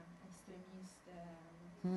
Cioè ne parlava come di, una, di un fenomeno che nasceva a causa, cioè per tante cause che poi creavano emarginazione e disperazione, mancanza sì. di riferimenti di qualsiasi tipo. Ma in tutto, pure qua in Italia ci sono avuto dei casi delle persone che sono andati sì, eh, cioè, all'Isa, alla Siria, a, a, tutti i bandi. Diciamo. Destra, secondo me è la stessa cosa, cioè sposare un'ideologia così forte, no? Che succede quando... Ah. Ci sono riferimenti. si ritorna sempre al discorso delle banche. Aspetta, dagli le... si ritorna sempre al solito problema delle periferie, cioè nel senso se tu escludi una persona, cioè è facile poi inglobarla in fenomeni estremistici, no? Cioè perché tu hai bisogno comunque di appartenere a qualcuno, a qualcosa. E la prima proposta che ti viene fatta, la prima carezza che ti viene posta, cioè poi tu ricambi con accogliere questo fenomeno estremistico. Però cioè, sì. Infatti c'è la questione anche dello Ius Solis, mm, sebbene molti ragazzi, appunto seconda generazione, abbiano la cittadinanza francese, sono francesi a tutti gli effetti, però ehm, si parlava già mm, prima degli attentati e anche ancora di più dopo gli attentati proprio di questa questione, che nonostante eh, loro abbiano questa cittadinanza, però eh, vengono comunque marginati, vengono messi da parte e infatti... Ehm, cioè, tu non, non, ehm, non voglio adesso eh, dare giudizi, però è una società fortemente razzista comunque, sì. quella francese. E, io... sì. Io penso che è un problema dappertutto, non solo nella Francia. Non ma solo... io credo che la Francia, in Francia ma perché racco- stanno raccogliendo quello che hanno pensato e Sì. 3-4 generazioni adesso li, li sta, li sta Sì. prendendo a Cioè, in, Francia tu non puoi proprio parlare di, non lo so, di nazionalità, di identità, semplicemente di identità che non vuol dire per forza nazionalità. Mm. Cioè, non- tu non puoi trattare proprio questi argomenti in, in nessun modo. Poi la- anche un altro fenomeno che si sta verificando eh, dopo le crisi, cioè la crisi delle ideologie del Novecento, stanno riportando di nuovo questa estremizzazione delle religioni, cioè non c'è, non c'è più un'appartenenza ad un'ideologia, eh, aggrappiamoci nuovamente alle religioni, ritorniamo al passato, cioè è una cosa stranissima, no? Cioè, abbiamo passato il Novecento con eh, l'iperlaicizzazione delle società e adesso nuovamente Europa, ritorniamo al... qua in Europa, Sì, non in tutto il mondo. ovviamente parlo, cioè, sì, stiamo parlando di questo contesto qui, no? Sì, però cioè, io penso che comunque è un argomento molto più ampio no? da, da, da sì stesso dalle- dal punto di vista delle migrazioni. Ma penso che forse la nostra generazione, pure un po' prima, è cresciuta in un mondo che è stato tipo un lapsus Sì. eh, per- dopo, le, dopo le guerre. C'è stato un contesto internazionale che è stato un lapsus di pace, tra virgolette. E, tra virgolette, se lo paragoni con le due, grandi- eh, le due guerre d'Europa, ovviamente tutto quello che è venuto dopo è stato un paradiso, sì. Cioè, Paradiso, cioè, te- eh, attentati terroristici un mese sì, un mese no, cioè persone ammazzate, Sì. eccetera, è un modo diverso di concepire la guerra. però tu non sei cresciuto per andare a combattere la guerra. E quindi, cioè, tu come generazione, Mhm. no? E- No, no, cioè e- nel senso io no, per- mm, cioè, par- mi riferisco alla generazione dei nostri genitori, per- probabilmente. Sì, sì, sì, Cioè- però ehm, tipo, c'è stata, penso, un intento tipo una pacificazione, si dice? Pacificazione della, della società, diciamo, le, quei- le guerre che erano ormai abituali sempre, che erano una costante nella storia dell'umanità, negli ultimi anni, per diversi motivi, dopo le- la seconda guerra mondiale, non è stata così, ehm, così abituale, o almeno non nel mondo occidentale, nell'Europa o negli Stati Uniti. Eh, quindi adesso ritorna la violenza e per noi è una cosa sconosciuta perché non siamo preparati per affrontare la violenza come sono stati preparati tutti i cittadini fino a 50 anni fa. Beh, cioè, nel senso io ti giuro che mio nonno non era preparato per andare a combattere in guerra. No, Cioè, sì, senso- ovviamente nessuno, penso che sia Ehm, stato ben preparato per Cioè, andare. se- nel senso si è ritrovato a combattere una guerra senza sapere neanche il perché. Mm. Cioè, nel senso, forse stiamo uscendo forse dal seminato un po'. Però, Però se adesso tu vai a fare il servizio eh, militare per combattere in guerra, sicuramente, cioè non, eh, in quella epoca tutti lo facevano, erano costretti a farlo, adesso tu dirai non lo voglio fare. Non sei, sì, non sei neanche obbligato, ma se ci fosse un problema, no, la menta- penso che è cambiata proprio la mentalità, comunque è un'idea mia, non so, poi non sono d'accordo. Eh, No, eh? Siamo una generazione di smidollati. No, poi un'altra, sempre parlando di guerre, no? Cioè, eh, la guerra in Vietnam, sti so- o la seconda guerra mondiale, questi soldati americani neri che vanno a combattere, cioè il fatto che i neri per sentirsi inclusi in una società, cioè quindi si, e sono capa- si pone sono come pedini, sono disposti ad andare a combattere una guerra, cioè senza sapere neanche per cosa combattere. Shekhan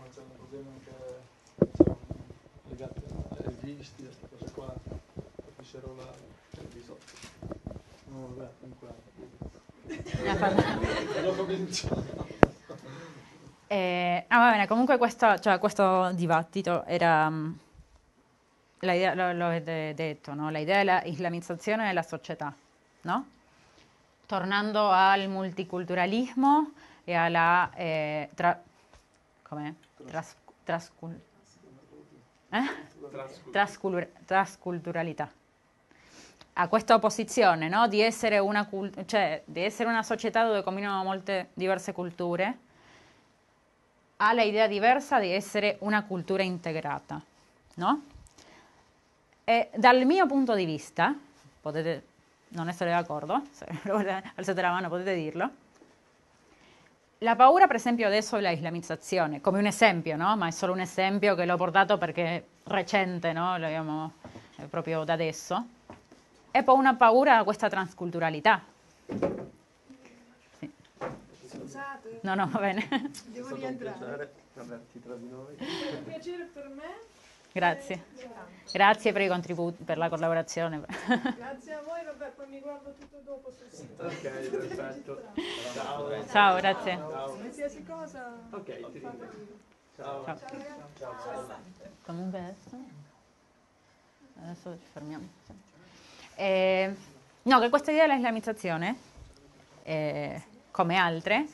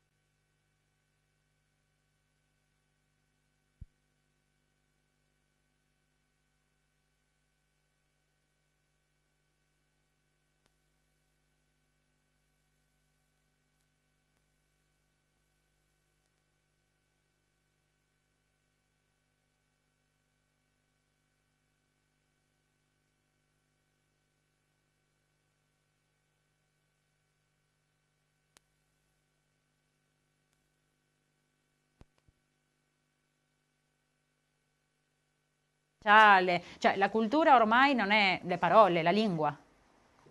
La lingua ha delle influenze eh, da tutto il mondo.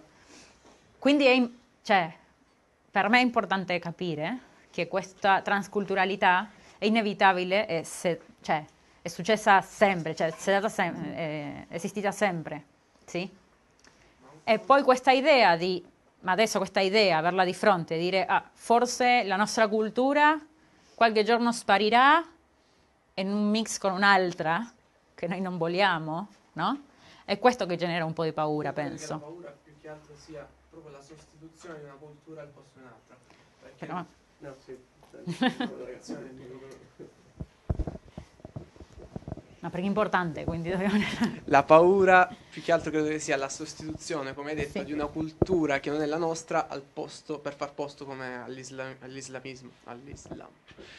Però il multiculturalismo visto come mix di culture non credo che sia un problema. No, Quindi, no, ma forse non è abbastanza. In che senso non è abbastanza? Cioè, nel senso che non basta essere una città e avere diverse culture che convivono insieme, perché alla fine questo eh, nel futuro diventa una cultura totalmente diversa, cioè non puoi mantenere per tutta la storia Fino dell'umanità, per tutto il futuro. credo che non ci siano problemi. Come? Fino a quando questo multiculturalismo significa pro- progredire, non credo ci siano problemi. Sì. Non credo che siamo regrediti mh, mm, facendo mix di culture, anzi, ogni, ogni volta che si è andato a mescolare qualcosa, credo che la società occidentale abbia preso il meglio, fra virgolette, di sì. ogni cultura. Quindi, come dicevi prima, la paura fondamentale e che io credo non, non, possa venire la sostituzione di una cultura meno progredita al, al posto della nostra. Sì, una... ma non credo che sia, un, che sia una cosa molto prossima. No, anzi. Va, per me no almeno. Cioè, cioè... Penso che sì, la cultura europea, infatti era, come si chiama questo spazio italiano? Uno spazio politico italiano di destra. Cioè, ce ne sono tanti. Sì, sì, no, però... La Meloni nel suo Facebook? Calderoli. No, la, la Meloni. Ah, la, la, Meloni. Aveva messo? Eh? La Meloni? Sì, sì. Aveva messo sul Facebook una immagine, diciamo quando è successo questo di Charlie Hebdo, non so come si pronuncia, dell'attentato a Parigi, che diceva eh, io sto con l'Europa cristiana o io difendo l'Europa cristiana Cioè, è proprio, ma è vero che la nostra civilizzazione si è basata sui valori cristiani. Ma non è vero neanche questo. Anche perché il trattato di Nicocea è del 400 d.C. Non la europea di adesso, ma voglio dire, tutta la civilizzazione, cioè 2000 anni più di storia, la civilizzazione cristiana ha avuto delle, cioè, delle cioè, della importanza, però quello non è un argomento per dire non vogliamo... Eh, altre culture, non vogliamo fare un... Cioè, ecco, il microfono.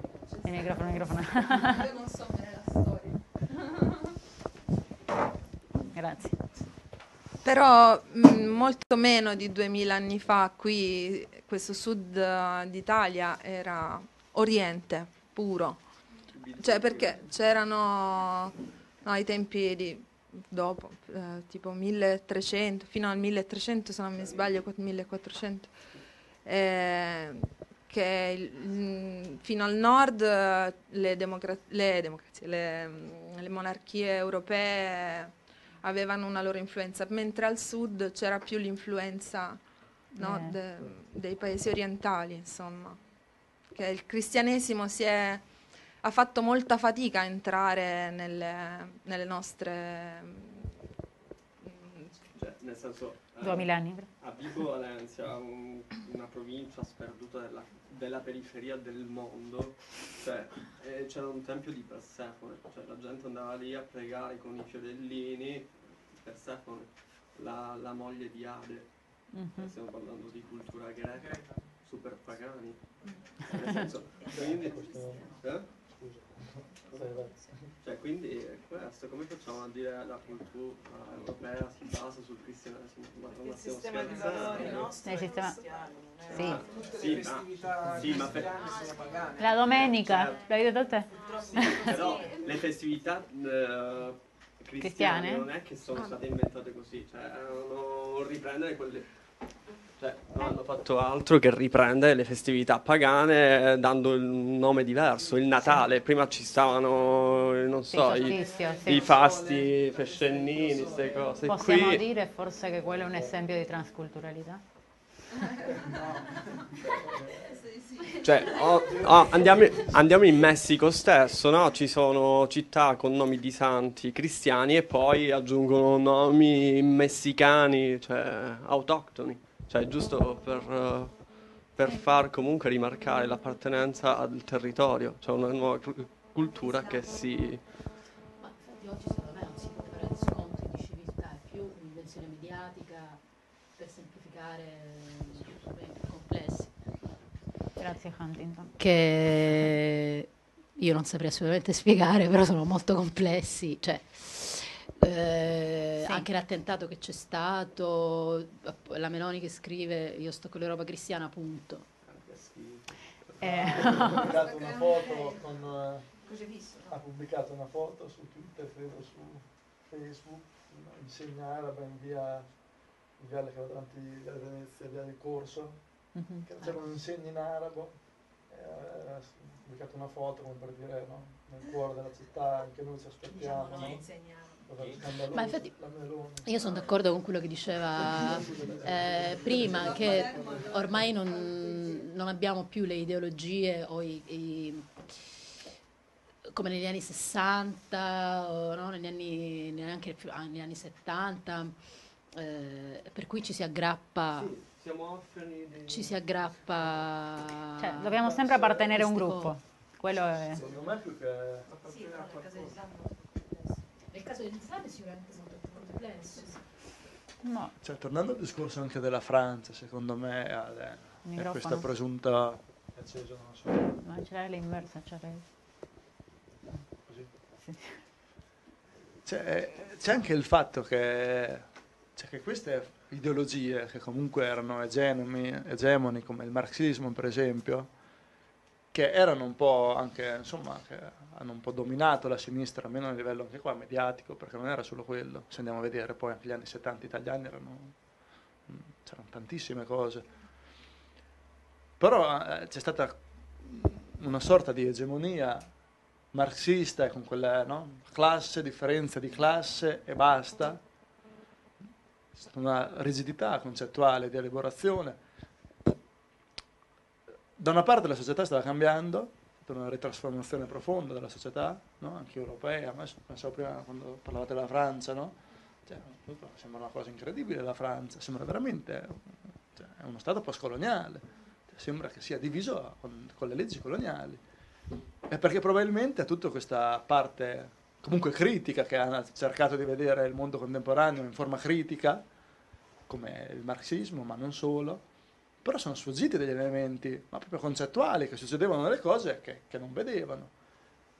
E infatti adesso ci accorgiamo che c'è della discriminazione, ma anche l'etnia, la pelle, la religione, cioè il genere, no? la questione femminile che è emersa negli anni 70, è esplosa anche lì, ma probabilmente in ritardo, cioè in un momento dove comunque un mondo che si può chiamare liberale, si può chiamare comunista, si può, comunista, si può chiamare liberista, come vogliamo, però come ha sfondato e sono finite, tra virgolette, le ideologie, ma mica è vero che sono finite le ideologie, perché l'ideologia del consumo, l'ideologia, cioè viviamo sempre immersi in delle ideologie, che sia del denaro, non viviamo senza ideologie, no? Però probabilmente è crollata un po' quello che faceva da, in qualche maniera, da barriera, che forse, non forse, sicuramente anche i conflitti, cioè gli anni, no, il dopoguerra, è stato così in Europa perché c'era la guerra fredda, non è che è stato qui perché, cioè, per una congiuntura particolare, perché c'era un conflitto anche sociale così forte, perché poi sì, c'era la pace, ma mica tanto. Cioè, in, in, Italia si vedevano le piazze ovunque negli anni 70 e fino ai primi anni 80, perché era vivo un conflitto che in qualche maniera metteva tutto in discussione, però permetteva sia degli spazi di rottura e sia anche di immaginazione di una costruzione diversa. Questo spazio è venuto a mancare, per fortuna, con, con tutte no? le, le, critiche che ognuno può riservare, però i risultati sono questi.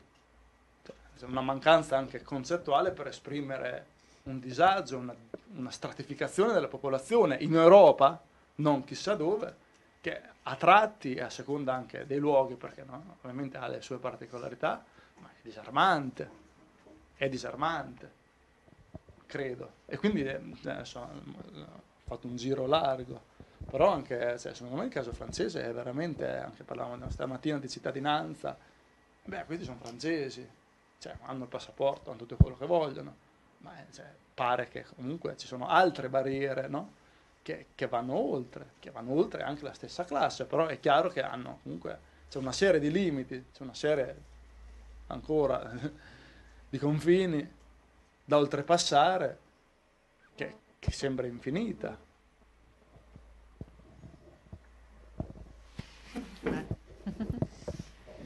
Eh, qualcuno vuole aggiungere?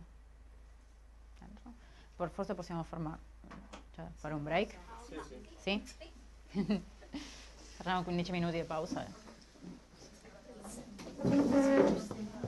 Grazie.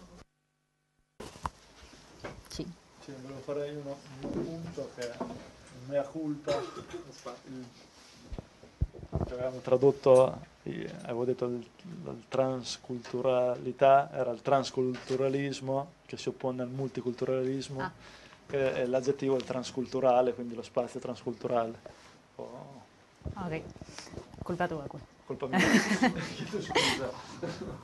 No, è transculturalismo.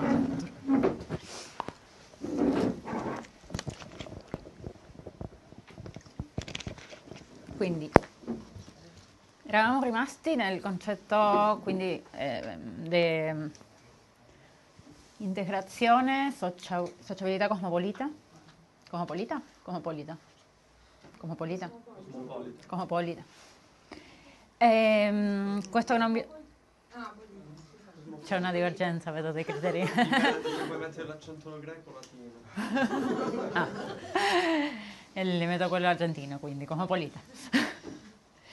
ehm, che andiamo oltre il multiculturalismo per creare relazioni sociali mirate all'inclusione, eh, sviluppate tramite radioattività locale, però oltre la semplice conviv- convivenza, ma la, eh, adottando un transculturalismo. Sì? Eh, queste pratiche della sociabilità cosmopolita eh, si chiamano so, so, sociability practices, ehm, quello che si intende come queste attività che mirano a avere, a avere questo tipo di integrazione, sì? Allora, eh, il concetto che ci interessa pure, eh, oltre a quello di integrazione, era quello di diversità, sì? Che comunque è un... cioè abbiamo, stiamo trattando degli argomenti che sono tutti correlati tra sé, quindi un po' ne abbiamo parlato prima, adesso le facciamo... Ehm, facciamo un po' un riassunto, ma aggiungiamo le nuove idee. Ehm, la diversità può essere tra oltre diciamo, tra, tra eh, oltre causa un risultato pure dell'immigrazione, sì, in una società eh, diversa, i componenti hanno diversi background, diverse origini. La, la, domanda che ci poniamo qua è come si beneficia la società della diversità, sì? Cosa porta la diversità per essere considerata un beneficio, per essere considerata gradevole, nella, eh, gradita, non gradevole, no? Gradito nel, in una comunità. Allora, una delle idee che si sviluppa nella letteratura sulla diversità dentro la società è che è una forza che libera la creatività. E forse può essere un po', ehm, cioè può sembrare non così importante, cioè non è l'unica forza che libera la creatività. E però infatti a me mi è risultato interessante che fosse nella letteratura sulla migrazione e la diversità culturale che fosse tanto enfasi su questo, su questo argomento. Poi questo è il punto di vista che eh, penso che interessa dalla prospettiva politica, no? Cioè se, siamo, se parliamo della strategia dell'Unione Europea, dei governi locali, dei governi nazionali, regionali, qualsiasi livello, ehm, la diversità porta un beneficio economico. Ehm, ed è pure provato che dal punto di vista privato le aziende che hanno una eh, capacità di gestire la diversità, cioè diversity management, sono capaci, cioè hanno maggiori profitti e maggiori benefici, benefici da, quel, da quel punto di vista. Un altro, cioè un altro, punto importante della diversità, diversity management, è che eh, chiaramente le aziende che hanno una, eh, un capitale umano più diversificato hanno pure più potenzialità per aprire nuovi mercati all'estero e aumentare il commercio a livello internazionale che hanno perché eh, si adattano, si adeguano a, ad altre realtà. Cosa che non significa che un'azienda che non, abbia, che no, che non accolga la diversità non sia capace di fare, però che eh, assumere delle persone che hanno diversi background porta dei benefici perché eh, uno, cioè, eh, come si dice, approveccia? Approfitta, approfitta, meglio, grazie. Cioè. approfitta meglio il capitale umano che ha a disposizione. Nel senso che comunque, scusa se ti interrompo, cioè un'azienda che delocalizza la propria attività imprenditoriale in un altro paese, se assume, cioè magari questo paese si chiama Cina e assume un cinese è più avvantaggiato perché questo cinese può indirizzare l'impresa stessa eh, nel muoversi in quella nuova... Sì, può generare un nuovo network eh, dentro... Stiamo parlando di una nuova impresa in Cina o noi, un, la stessa impresa che apre il mercato cinese? Perché no, è tutte e due le cose. No, perché se si apre un'impresa in Cina non, non ha senso parlare di multiculturalismo perché cioè, per... l'azienda è in Cina. Cioè, sì, però l'azienda in Cina è un'azienda italiana che non conosce quel mercato, quindi magari ha bisogno di uh, un cinese. Il discorso di immigrazione, quello discorso. E perché non integrare questi immigrati cinesi? E non Beh, sono immigrati perché non vanno in Cina. No, non hai no, capito. Ma forse Ci no, sono, la diversità cioè... dentro l'azienda non necessariamente è, è immigrazione, cioè se fai, dipende sempre dall'azienda. In questo caso che no. lui è... E io penso per esempio al cluster di Prato ci sono tantissimi cinesi e tantissime... Dove? A Prato, in Toscana. Ci sono tantissime imprese italiane che stanno delocalizzando in Cina perché, perché ci sono tanti cinesi anche che aiutano questi imprenditori italiani a, ad aprire imprese lì. Sì. Eh, anche perché hanno dei vantaggi. Cioè, cioè, generis- già conosci una persona del luogo che ti dice come muoverti. Cioè, generizza il network. Eh, Sì, sì, sì, dei contatti. Sì, certo. In quel caso bisogna vedere, cioè non necessariamente è una gestione della diversità, dipende come ti organizzi come azienda. La gestione della diversità, questo diversity management, è proprio la capacità di ehm, avere eh, dentro il tuo capitale umano persone con background diversi e quindi eh, capire come ehm, approfittare meglio le sue capacità in funzione di questi background. Non significa soltanto sì, sì. essere disposto a chiedere, chiedere, un visto al tuo paese di origine, al tuo consolato, diciamo.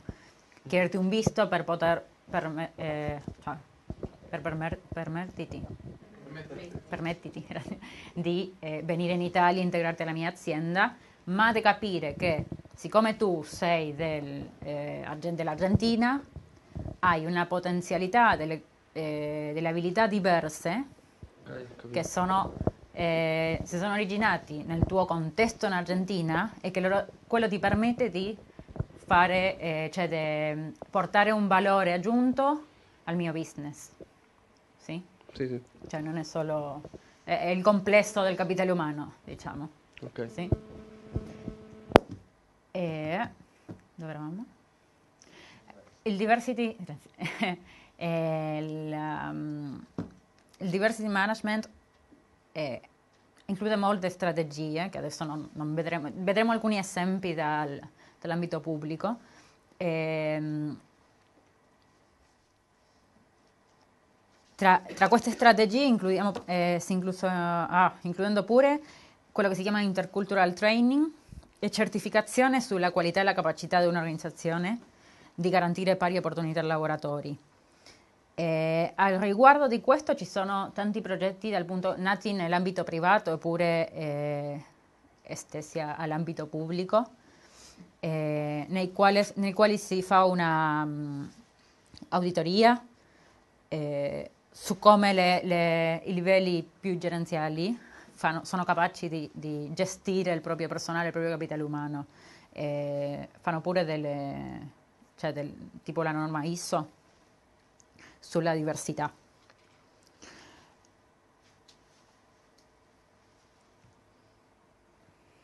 Questo, cioè, eh, come dicevo, questa, la um, intercultural, train, oh, intercultural management è nato nella, nell'ambito privato perché si è capito questa cosa dei benefici economici, adesso è stato adottato dall'Unione Europea, dalle città, cioè eh, si sta veramente promuovendo, impulsando. Integ- Integrating Cities è un progetto, infatti, è nato dall'organizzazione Eurocities, che si vede qua, eh, in collaborazione con la Commissione Europea. Quello che fa è Integrating Cities è una, uno scambio di buone pratiche, good practices, tra eh, governi di diverse città, ma non solo governi, pure altri attori eh, che possono essere coinvolti nella società civile. A riguardo delle strategie di integrazione di eh, migranti eh, de, da, dal governo locale, hanno firmato quello che si chiama il Charter on Integrating Cities, che eh, riguarda le pari opportunità per integrare i immigrati e ha come scopo abra- eh, accettare, abra- in, inglese, in inglese embrace, to embrace, abbracciare, accettare la diversità delle loro popolazioni, cioè delle popolazioni che hanno queste città, che ormai è considerata una realtà nelle città di tutta l'Europa. Sì? Cioè lo scopo di questo progetto è proprio di capire che l'integrazione è necessaria perché la diversità è un fatto che non può essere ignorato. E formano parte, cioè soprattutto un foro di scambio di eh, progetti di buone pratiche, eh, perché non, non hanno, eh, Eurocities non è un organismo con potere de, de, de, decisorio però formano parte ormai 33 città europee e il mese scorso è entrato pure Toronto, che è la prima città extraeuropea, a, parte, a fare parte del foro.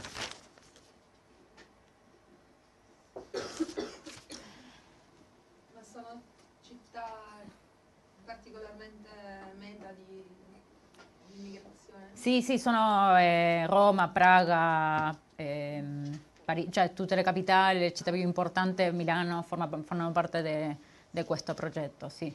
Sì, come... Mm, sono città che precisamente sono, eh, sono una, la destinazione degli immigrati siano extra Unione Europea che dentro dell'Unione Europea, no? E infatti questa è una cosa, cioè una caratteristica che quello che vogliono pure promuovere l'idea che eh, c'è nella città c'è uno spazio diciamo per i migranti che di solito è cioè, la destinazione principale quando, parte una, quando partono gli immigranti erano sempre le grandi città dell'Europa no?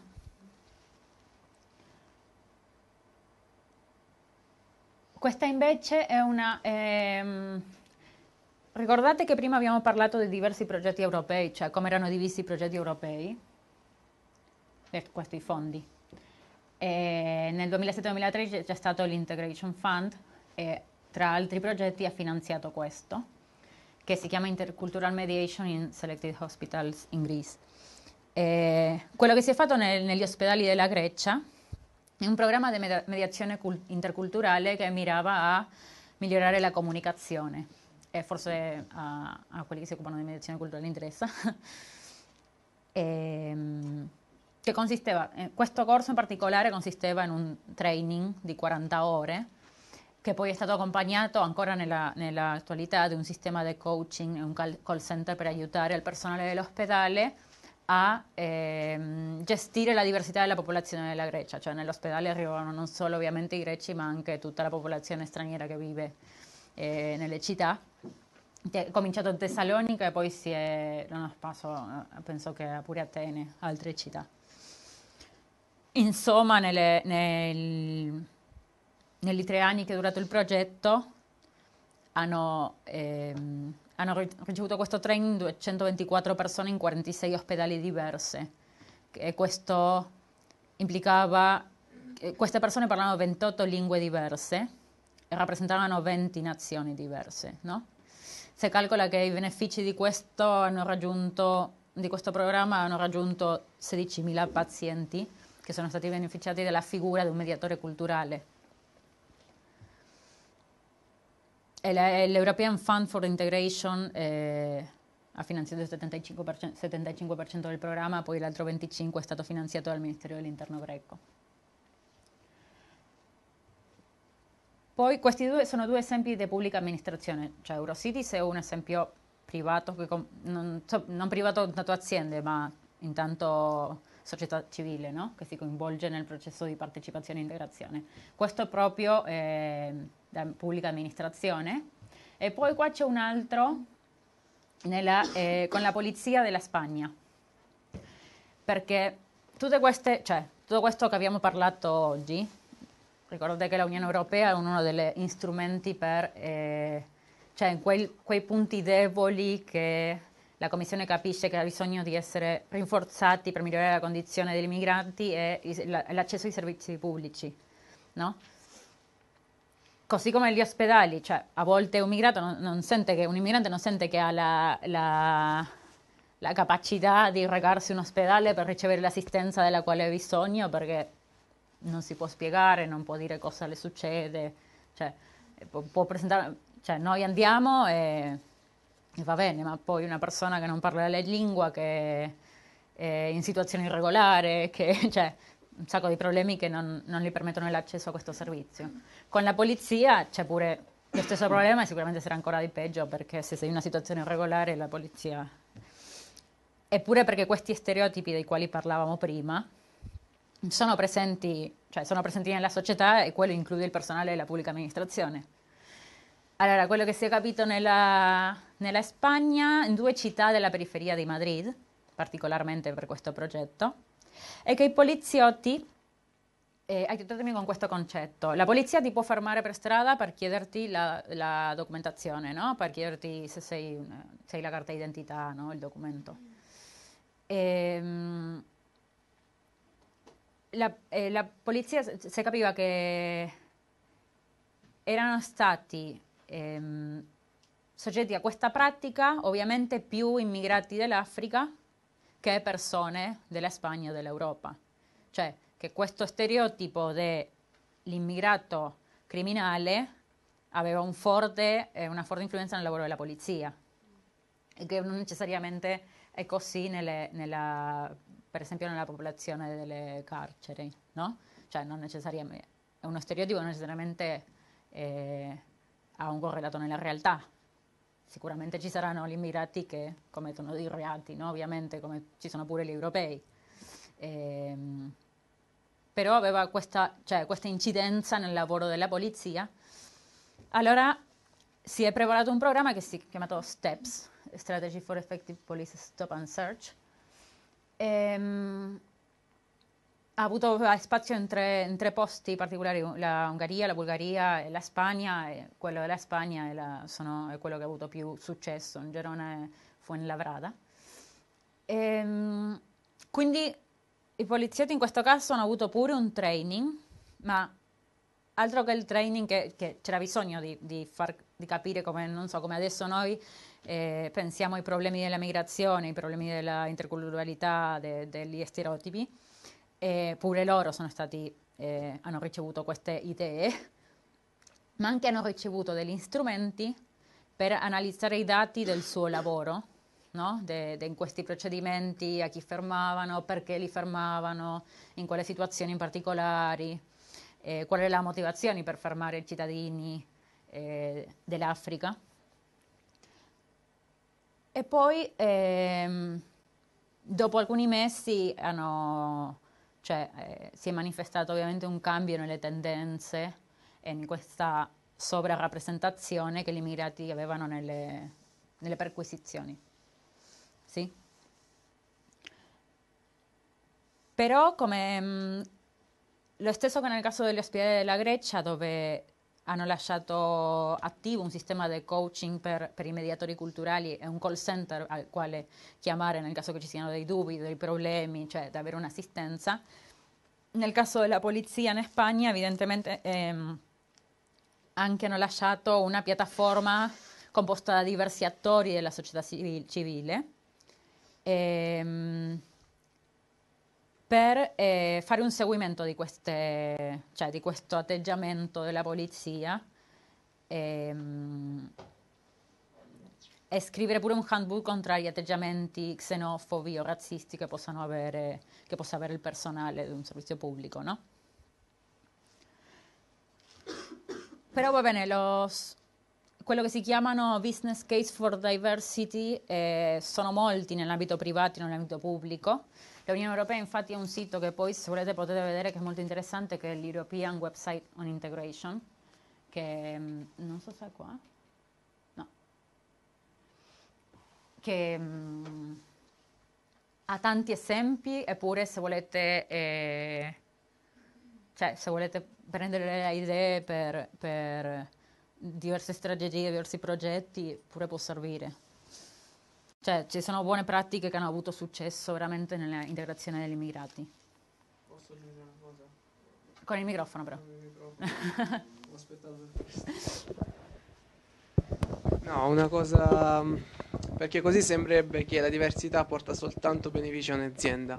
Anzi, L'azienda deve sostenere molti costi di gestione per uh, applicare questo tipo di strategia, costi di formazione, costi di comunicazione. Sì. E la diversità è un processo molto lungo, a volte i tempi sono anche ancora più elevati e potrebbe facilmente fallire, quindi i rischi sono alti.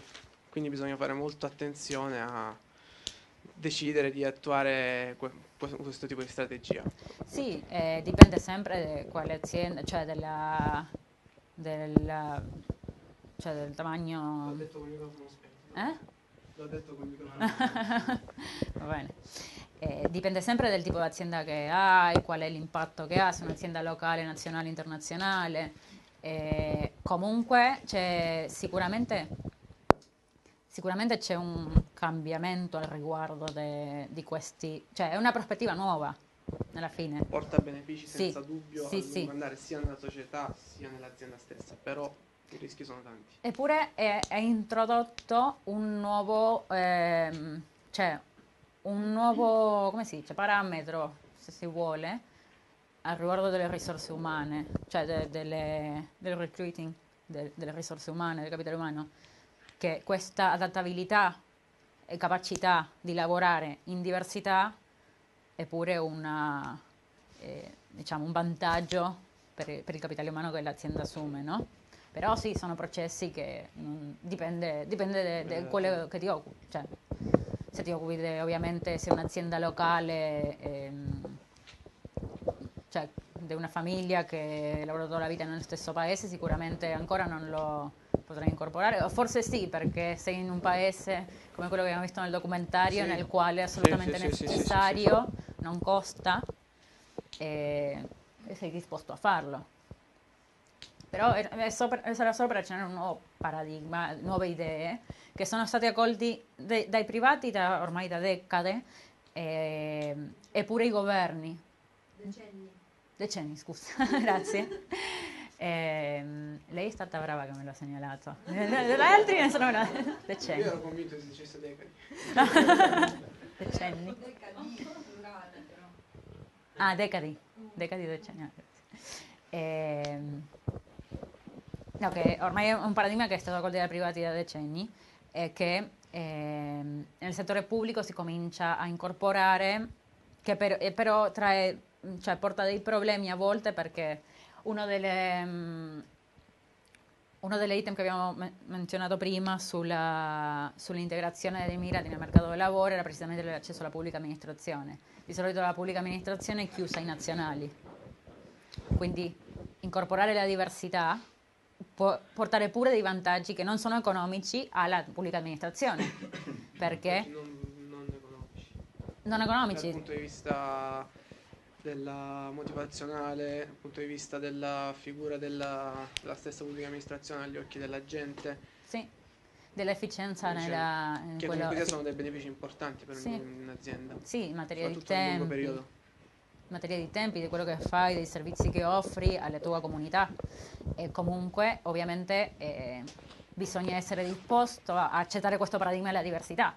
Cioè, se un governo locale accetta ancora come nel video, come si chiamava il paese del video? Eh, Riace. Riace. Ria- Riace. Riace. E se il governo di, Ri- il governo di Riace è stato disposto a, a cogliere cioè, alla diversità e ha disegnato le politiche che servivano a quello scopo, ovviamente. Se poi una società è più chiusa, il governo più chiuso non è disposto a accettare che la sua società è composta da integranti diversi, mm, ovviamente non ci sarà un riflesso nelle poli- cioè una specchio nelle politiche pubbliche. E, ma lo stesso con le aziende, no? E poco fa, eh, poco fa, cioè um, parecchi mesi fa, a Roma c'è stato un caso molto ehm, cioè, che ha fatto un po', è uscito nei mezzi, che è stata la, vendi- la vendita di una gelateria romana storica che si chiama il Palazzo del Fredo a, a un gruppo coreano. Forse ho capito, però. Forse ho capito. di Conosci- stavi Però non sono sicuro se è quella. Il- c'è una gelateria romana che è, sì,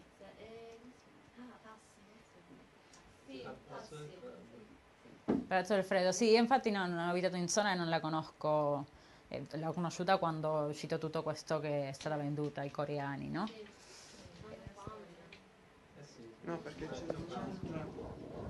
che lui aveva detto, aveva minacciato di vendere ai cinesi perché il comune gli aveva messo non so, delle limitazioni che si diceva avesse venduto, però per questo dice, non ero molto Ah. sicuro. No, non mi so, ricordo fo- se fosse questa, era anche una gelateria abbastanza... Mm. No, non so, penso che questa l'hanno venduta alla fine, poi non so come è seguito il caso eh, dopo, dopo questi mesi. Però in quel momento è scatenato tutto un casino perché era tipo ah, una, gelia- una gelateria tradizionale romana che adesso è dei, dei coreani, non dei cinesi. Ehm, niente, a me mi è sembrato in quel momento un po' eh, esagerata re- cioè, come reazione frente alla... perché Magari si la fi- sentivano legati a, personalmente a quella... Sì, però cioè, non è che la gelateria arriva con i romani fino alla fine dell'umanità. eh, cioè, non so, cam- il cambiamento, no, il, cambia- il, cambiamento e tutti questi flussi, e, no, cioè lo scambio commerciale. Cioè, alleveranno magari, che alleveranno magari se la pizzeria da Franco un giorno la compra, non so, un, un, un del Bangladesh, un po'. Cioè. Transculturalismo.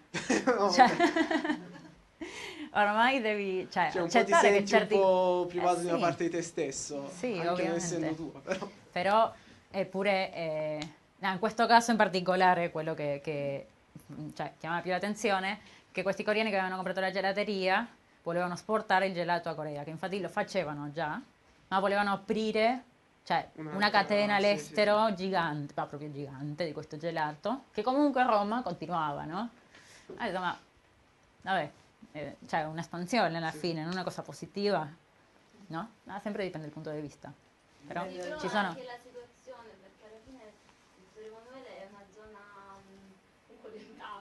Sì, sì, sì. Forse quella diciamo per, per gli abitanti del posto sarà stata tipo la ciliegina sulla torta. Della... Sì.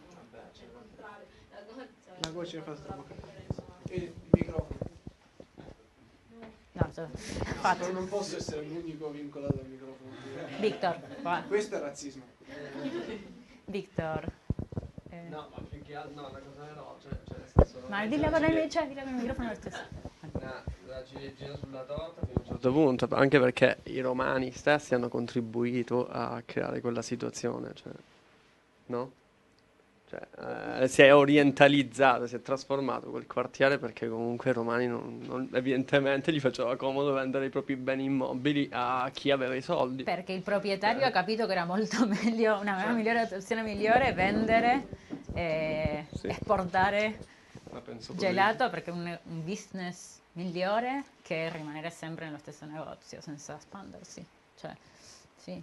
Però è comunque, cioè, Roma come città non è un piccolo paese nel quale puoi dire va bene, voglio rimanere, cioè, è fatta proprio dello scambio degli immigrati da 2000 anni, più 3000. C'era quel bellissimo grafico sulle città, sullo scambio di intellettuali tra le città. Sì che ripercorreva la storia delle città nel Mediterraneo in Europa. Eh, Sarebbe bello da proiettare quel video, sì. se si trovasse. Sì, sì, me lo segno per domani. Sì, magari cioè, tanto dura due minuti, cioè si vedono proprio i flussi di persone che vanno e vengono da Alessandria d'Egitto ad Atene, da Atene a Roma, da Roma a Londra, eccetera. L'hai già raccontato comunque. No, vabbè. ma, ma, graficamente da, rende sì, molto di più l'idea, no? Sì, Adesso andiamo tutti a vedere stasera così non abbiamo una sorpresa. ehm,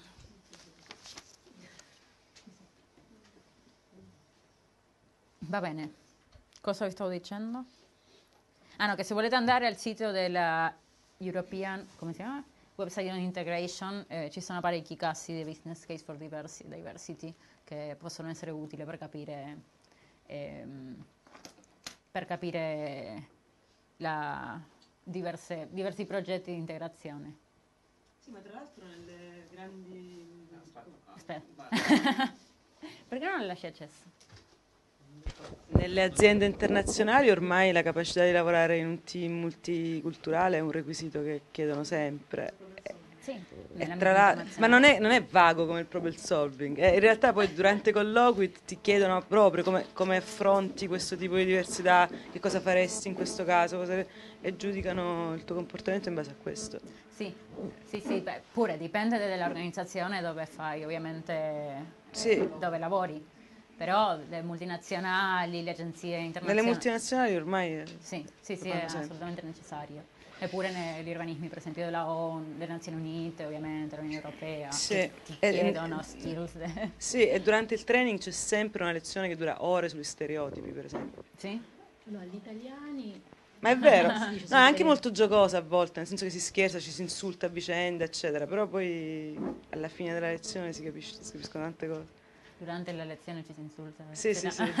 I francesi puzzano, gli italiani gridano, eh, gli spagnoli sì. Ah, è una lezione multiculturale. Cioè, sì, sì, sì, sì. Cioè, no, durante la formazione in azienda, a me è capitato due volte di avere questo tipo di lezioni. Eh, funzionano.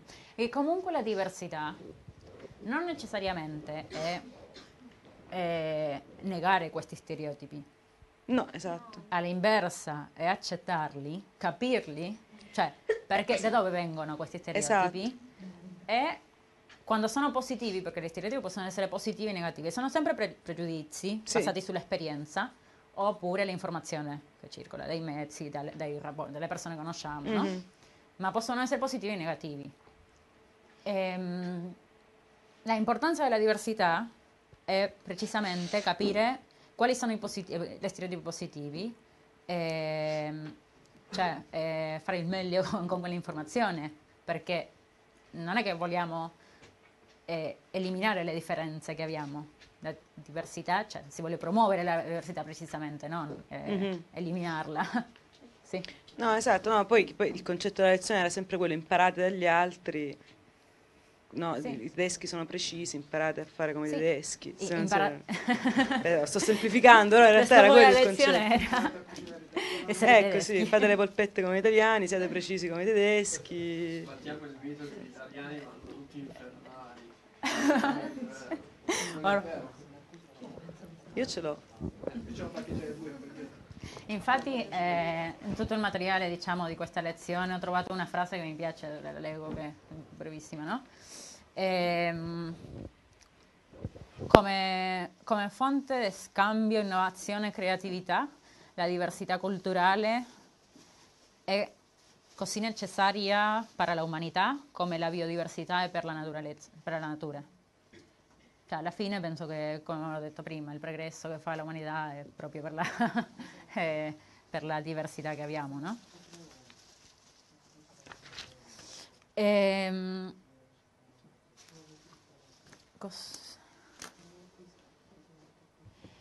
Questa mappa l'abbiamo visto prima, comunque non lo, non lo spiego un'altra volta, che è il diverso accesso al mercato del lavoro con tutte le... Cioè ormai qua non ho i parametri che utilizzano per, per misurarlo Ehm, però forse sì, bisogna dire, ehm, cioè come riflessione finale, pensiero finale di questo, di questo modulo, eh, volevo tornare alla integrazione, no? E pensare un po' in, in, in cosa consiste, cioè riuscire a, a capire tra tutti in cosa consiste l'integrazione, sì?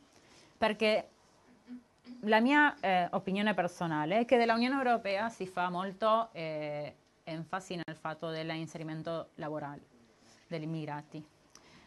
E dal settore privato c'è tanto lobby per l'integrazione degli immigrati, però dal punto di vista della flessibilizzazione lavorale, no?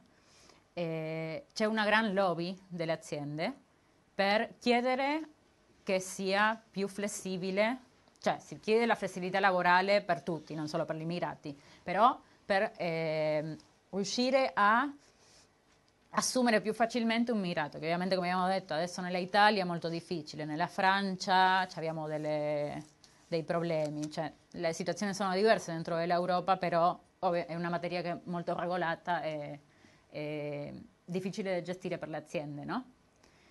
Allora il settore privato non fa lobby per altre politiche di integrazione, no? Fa per quello che, che fa parte del suo interesse.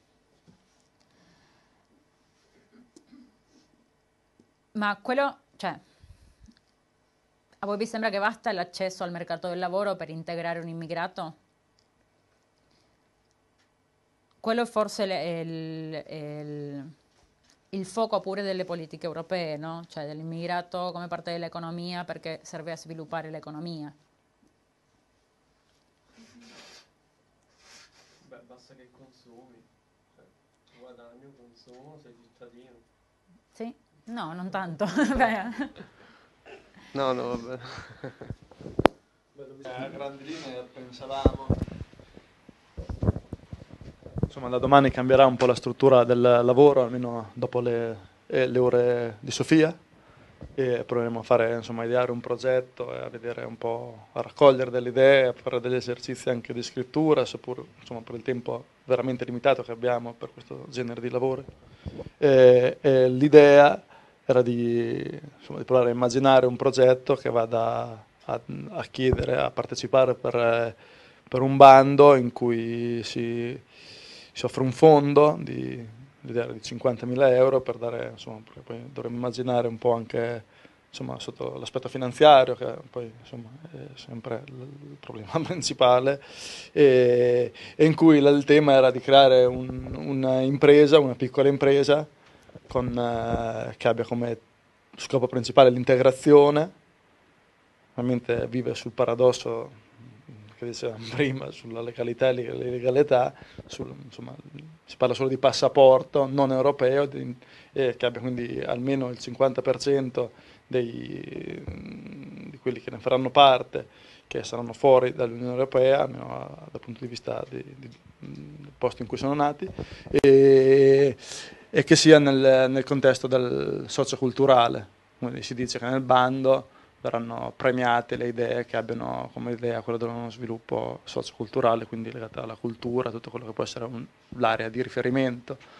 Ovviamente è, è un esercizio, quindi lasciando... È un progetto di un'impresa completo, cioè soltanto l'idea oppure... Sì, vedremo le varie fasi del proget- della progettazione le, le, e, e, poi le, le, prenderemo singolarmente, che sia dall'analisi dei beneficiari, quindi...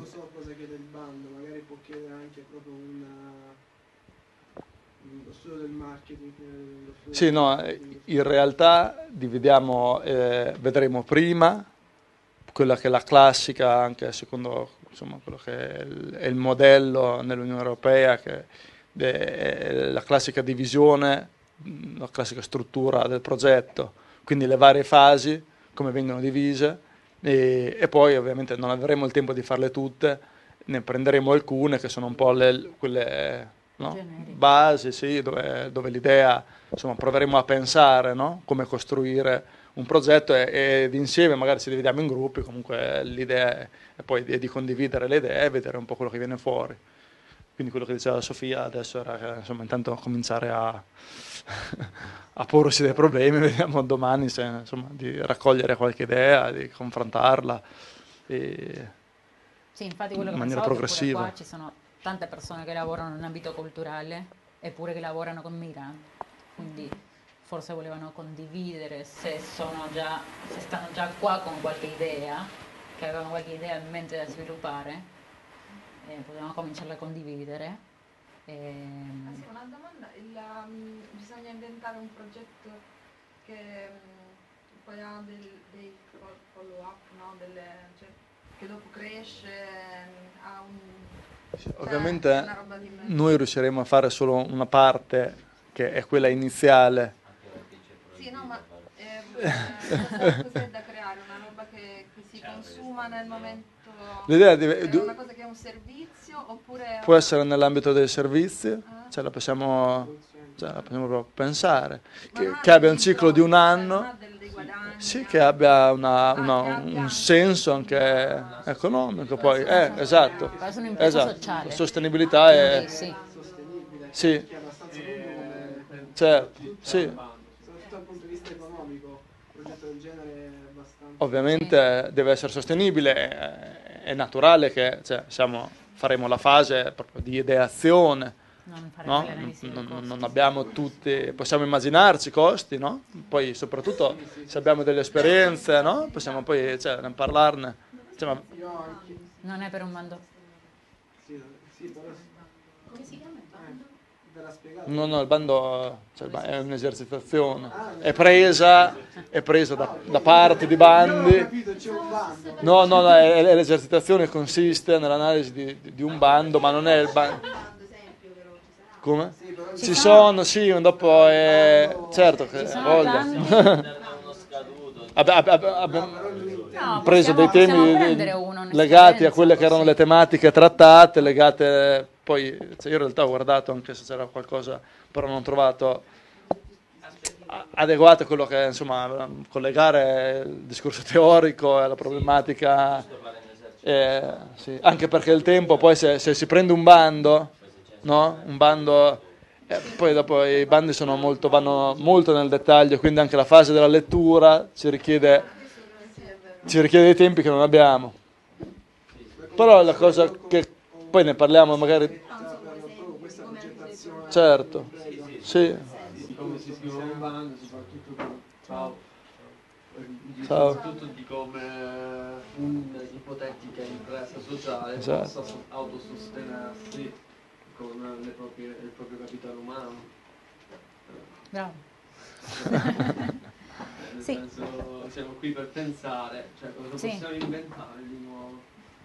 Cioè, dato che c'è lo spazio pure per idearlo, per esperienza, dopo, cioè, dopo di tutte le idee, di tutti i progetti che voi riuscite a, a fare, a, a progettare, cioè, si possono continuare. Cioè, qualcuno poi porta, l'idea, porta l'idea avanti. Siamo qua perché comunque la maggior parte di noi ha l'intenzione di magari, a parte scambiarsi delle idee, confrontarsi, acquisire delle, delle conoscenze che non ha, e poi magari, visto che c'è l'opportunità di poter creare un'impresa sociale, questa è giusto un'esercitazione per vedere se insieme si riesce ad avere un'idea più o meno comune, se un gruppo di persone con un gruppo eterogeneo come questo può tirare fuori un'idea a livello di prova generale, comunque niente di ufficiale. Perché... Certo, sì anche la condivisione delle varie esperienze può essere, no? Può essere sempre, insomma, si impara a vicenda. Sì, poi anche rompendo questo spazio del, so, del, microfono, delle cose, anche proprio parlandone in maniera veramente circolare. Certo, Come? certo. Poi, sì, l'idea, scusa, era del, insomma, dello sviluppo socioculturale, era proprio perché, insomma, si potrebbe anche dire che tu puoi, puoi prendere chiunque in un'azienda, però magari pensando a uno, a uno, sviluppo legato al mondo culturale potresti avvalerti no? proprio delle risorse che ti viene, qualcuno che profondamente che ha una storia diversa dalla tua e magari che ti aiuti anche nel, nel processo di, no? di, a pensare, però ovviamente sì, in maniera totalmente aperta e, propositiva, solo per dare delle linee e, e vedere poi cosa ne esce. Ormai comunque, tornando all'esempio che hai fatto, se c'hai un negozio, un negozio di, so, di, di, vendita di biciclette, per esempio, non c'è... Eh? O il progetto realizzato. No, vabbè, non c'è bisogno di pensare che l'integrazione degli immigrati porta adesso a cercare nuovi mercati all'estero. Per il momento ti può aiutare nel proprio mercato locale. Sì. Per, per, dal punto di vista del magari, business puramente, magari... no? magari potrebbe sembrare un'azienda del genere anche in una città, non so, Lecce, un'azienda così con un 2-3 uh, immigrati che ci lavorano apre questo mercato di biciclette elettriche anche a ragazzi immigrati che vedono una frontiera aperta, prima lo vedevano come chiuso questo negozio, ora vedono che ci lavora magari qualcuno sì. perché non si avvicinavano, perché non si sentivano il suo agio, sì. eh, perché so, con, con, integrando lavoratori immigrati fai, cioè, coinvolgi un'altra comunità. Sì, cui... C'è una cosa interessante del territorio, che c'è, la, eh, insomma, c'è quella parte che si fa nella progettazione che è dell'analisi no? dei beneficiari, per esempio, in cui tu devi descrivere no? eh, lo stato della situazione. E, e poi c'è anche tutto quel, quel, linguaggio, a volte anche veramente pedante, dell'Unione Europea, no? con, cui si scrivono i progetti, che comunque è importante acquisire in qualche forma, poi è chiaro che sono dei professionisti spesso che lo fanno, però si può fare in maniera anche più creativa, però riuscendo a, a convincere che noi lo facciamo qui, lo facciamo a Leverano perché a, a Leverano c'è bisogno di fare questa cosa. Quindi questo esercizio anche proprio di scrittura e di ideare delle maniere di, di scrivere, di convincere che noi facciamo questo, noi dobbiamo giustificare il perché. E questo che io penso che no, nei progetti spesso c'è una, una gran vaghezza, no? non perché non, siano, non valgano, però perché eh, bisogna anche esercitare se riuscire ad essere concreti e soprattutto convincenti, no? Cioè, anche quella lingua, quelle retoriche, volendo. Purtroppo serve perché per standardizzare Purtroppo serve, certo. le rivalutazione. E mi pare anche un buon esercizio per schiarirsi le idee nell'ambito no? mentre si pianifica, anche mentre si pensa, ad essere in maniera più concreta, cioè, cosa ti dico, perché è così necessario, no? Infatti, esatto, essere proprio pertinente, no? Esatto.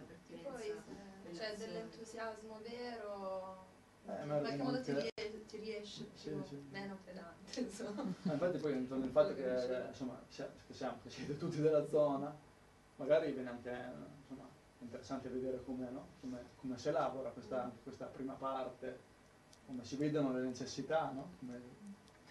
Eppure questa parte, cioè la parte della, del capire qual è il problema, ci aiuta a definire se veramente è un problema. Perché a volte cioè, la base di questi lavori sono delle idee che abbiamo sulla situazione degli immigrati, in questo caso per esempio, e a volte forse se facciamo un po' di ricerca ci rendiamo conto che non è così, cioè che i dati sono, sono altri, quindi cioè, per forza bisogna fare un, un lavoro previo più uh, dettagliato sulla situazione, cioè su, su, quello che noi pensiamo che è un problema, perché a volte può darsi che non lo sia, e soprattutto che non sia un problema per le comunità che, stiamo che vogliamo raggiungere, coinvolgere. No? Al di là della retorica, della, della cooperazione, dell'integrazione, dobbiamo anche cercare di vivere con questa attività che andremo a fare, cioè nel senso non è che possiamo campare di, di amore, cioè dobbiamo... L'integrazione diversità. Cioè dobbiamo cercare di guadagnare dei soldi e sopravvivere e comunque essere sostenibili Come hanno fatto a... No, non mi viene il nome, scusa. Riaci. Riaci. Esatto, cioè loro adesso vivono di artigianato e turismo. Mm. Pace, amore e artigianato. cioè però ci vivono, cioè nel senso posso dire amore, integrazione, transculturalità, che è bellissimo come parola, è un conto è vivere. Sì. Vivere e far vivere. Sì, e dare l'indipendenza. tutto il territorio con questo progetto. Magari? Dare opportunità a tutto il territorio di svilupparsi grazie a questo progetto. A tutto il territorio in che senso? Intendo, tutto il mondo? No, tutto il mondo no. Il territorio in questione. Magari lo so, dico... Il Salento. Eh, il Salento ha una potenzialità importante, penso. Magari le, le, prime cose che mi verrebbero in mente a me da sviluppare nel Salento, energie rinnovabili e turismo, cioè sono le prime due cose che mi verrebbero in mente da che hanno potenzialità qui, in questo punto di, del mondo. Però bisogna sì. vedere come fare, cosa fare, come inserirsi nel però era in chiave culturale e sociale. Sì. sì, ma infatti dice creare un progetto che sia sostenibile, cioè che ci dia un guadagno e in questo progetto riuscire a inserire magari eh, gente che ha bisogno di lavorare, gente che può essere forza lavorativa e quindi che può darci e a cui noi possiamo dare. Mm-hmm. Sì, insomma deve essere cultura sostenibile. Sì. Come diceva lui, non possiamo vivere di, di cultura, sì, di amore no. No, però... Il progetto ci viene bocciato. Cioè. Cioè, noi, noi, facciamo questa azienda per dare lavoro e basta.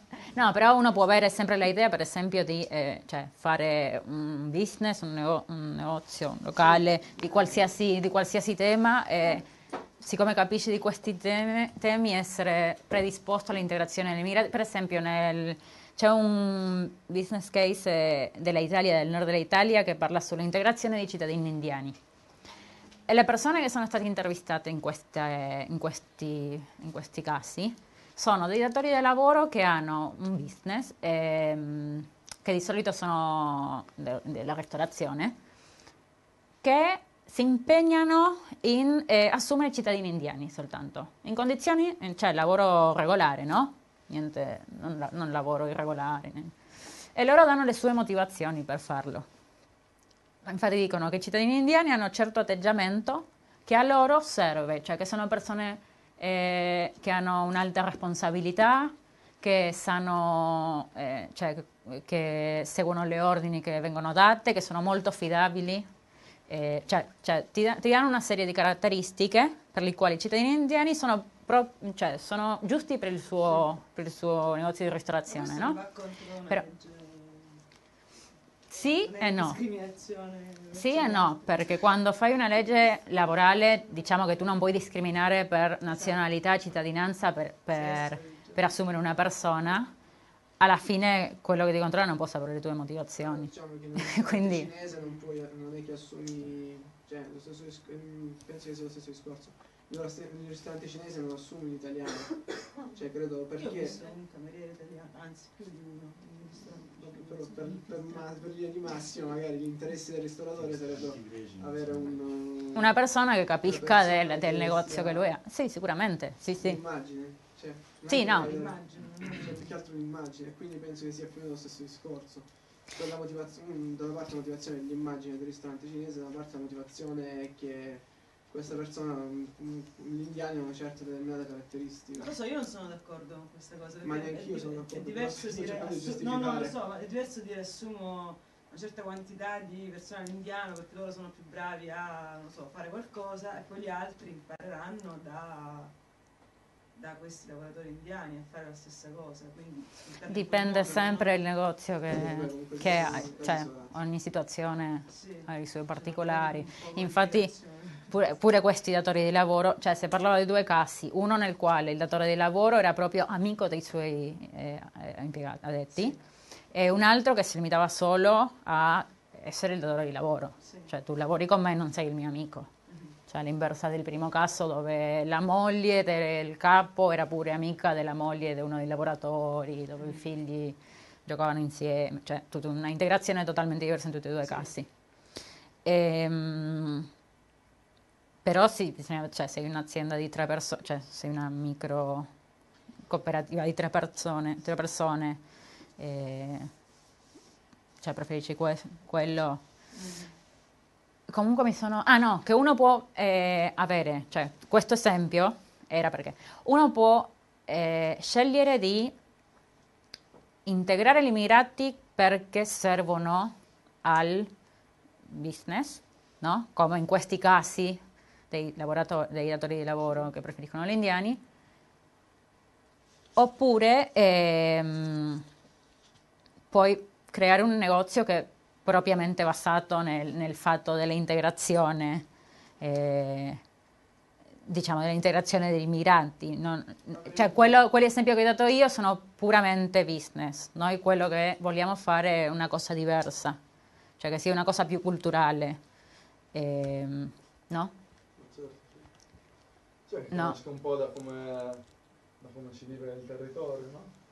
Cioè da, da, quelle che si pensano che siano le esigenze del territorio, come si pensa sia possibile intervenire. Quindi sì, ovviamente sì, ho messo già il discorso culturale alla parte. Sì, perché comunque sono sempre una risorsa che non è mai sfruttata. Quindi più un beneficio non economico. No, ma certo, tutte e due. tutte e due. In senso economico e non per forza cioè, culturale deve essere rimessa. Deve... No, però comunque sia... Eh. Un senso economico? Dell'integrazione con l'idea di, no, di di riuscire a, a, risolvere o comunque a intervenire attivamente su delle problematiche, però con, cioè, attivamente, anche in termini insomma, monetari, non solo...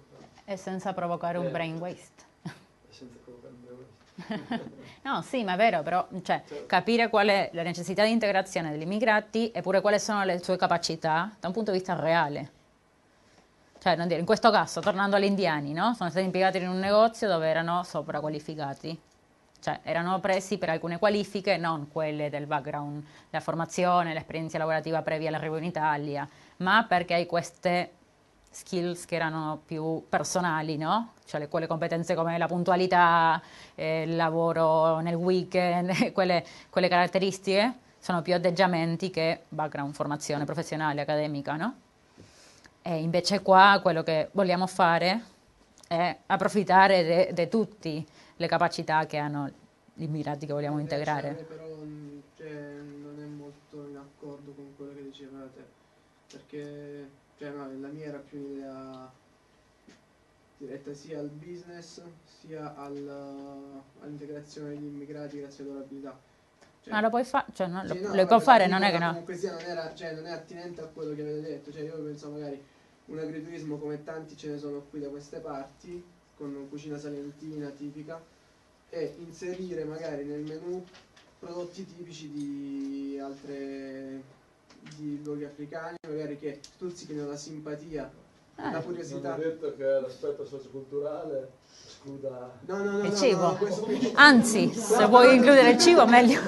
però era, cioè, però No, però comunque via, ormai che stuzzica la curiosità di altra gente che vede questi piatti fatti appositamente da persone che hanno questa abilità, cioè perché l'abilità non è che fare un piatto magari esotico, non è che ce l'ha un italiano, ce l'ha un immigrato, ce l'ha... Sì. È tipicamente... Cioè a fare la carbonara c'è pure un immigrato, quindi... E quindi unire le due multiculturalismo... Eh, non è socioculturale questo aspetto. Sì. E infatti a me mi sembra molto più interessante che altre attività che di solito consideriamo socioculturali e che, eh, cioè, che si promuovono. Sì, sì. Beh, l'esercizio che proveremo. Ma una continuazione o poi... Io non sono mai riuscito a vederlo tutto, però credo che siano episodi. Ah, sì. Eh, all'ultimo momento ha, ha allargato parti, mm. eh, quella di... Come si chiama? Il volo. Il volo, forse. Cioè, no, eh, la cosa importante è che um, cioè, sul bigliettino c'era scritto benvenuto, no? in tutte le lingue, perché non, non si vedeva bene, sì, cioè, in tutte le lingue. Sì. Cioè, sì. il, come cambia appunto la relazione con una, pers- cioè, con una, persona, cioè se io ti saluto e mandato a quel paese, cioè ovviamente eh, non fai altro che accattivire, mentre se tu gli dici benvenuto a una persona, ciao come stai? Hai la possibilità di instaurare un rapporto. Ma era un paese svuotato comunque. Era un paese svuotato, certo. Sì, a me piace molto anche la, la funzione che c'è con, no, con l'apparato burocratico ah. eh, e la lotta anche se non all'interno delle istituzioni, comunque dal territorio, che nonostante tutto no, eh, non c'è una fine, alla fine probabilmente chi lo sa. Sì, una parte burocratica. Sì, questo è il discorso, se ci conviene, cioè.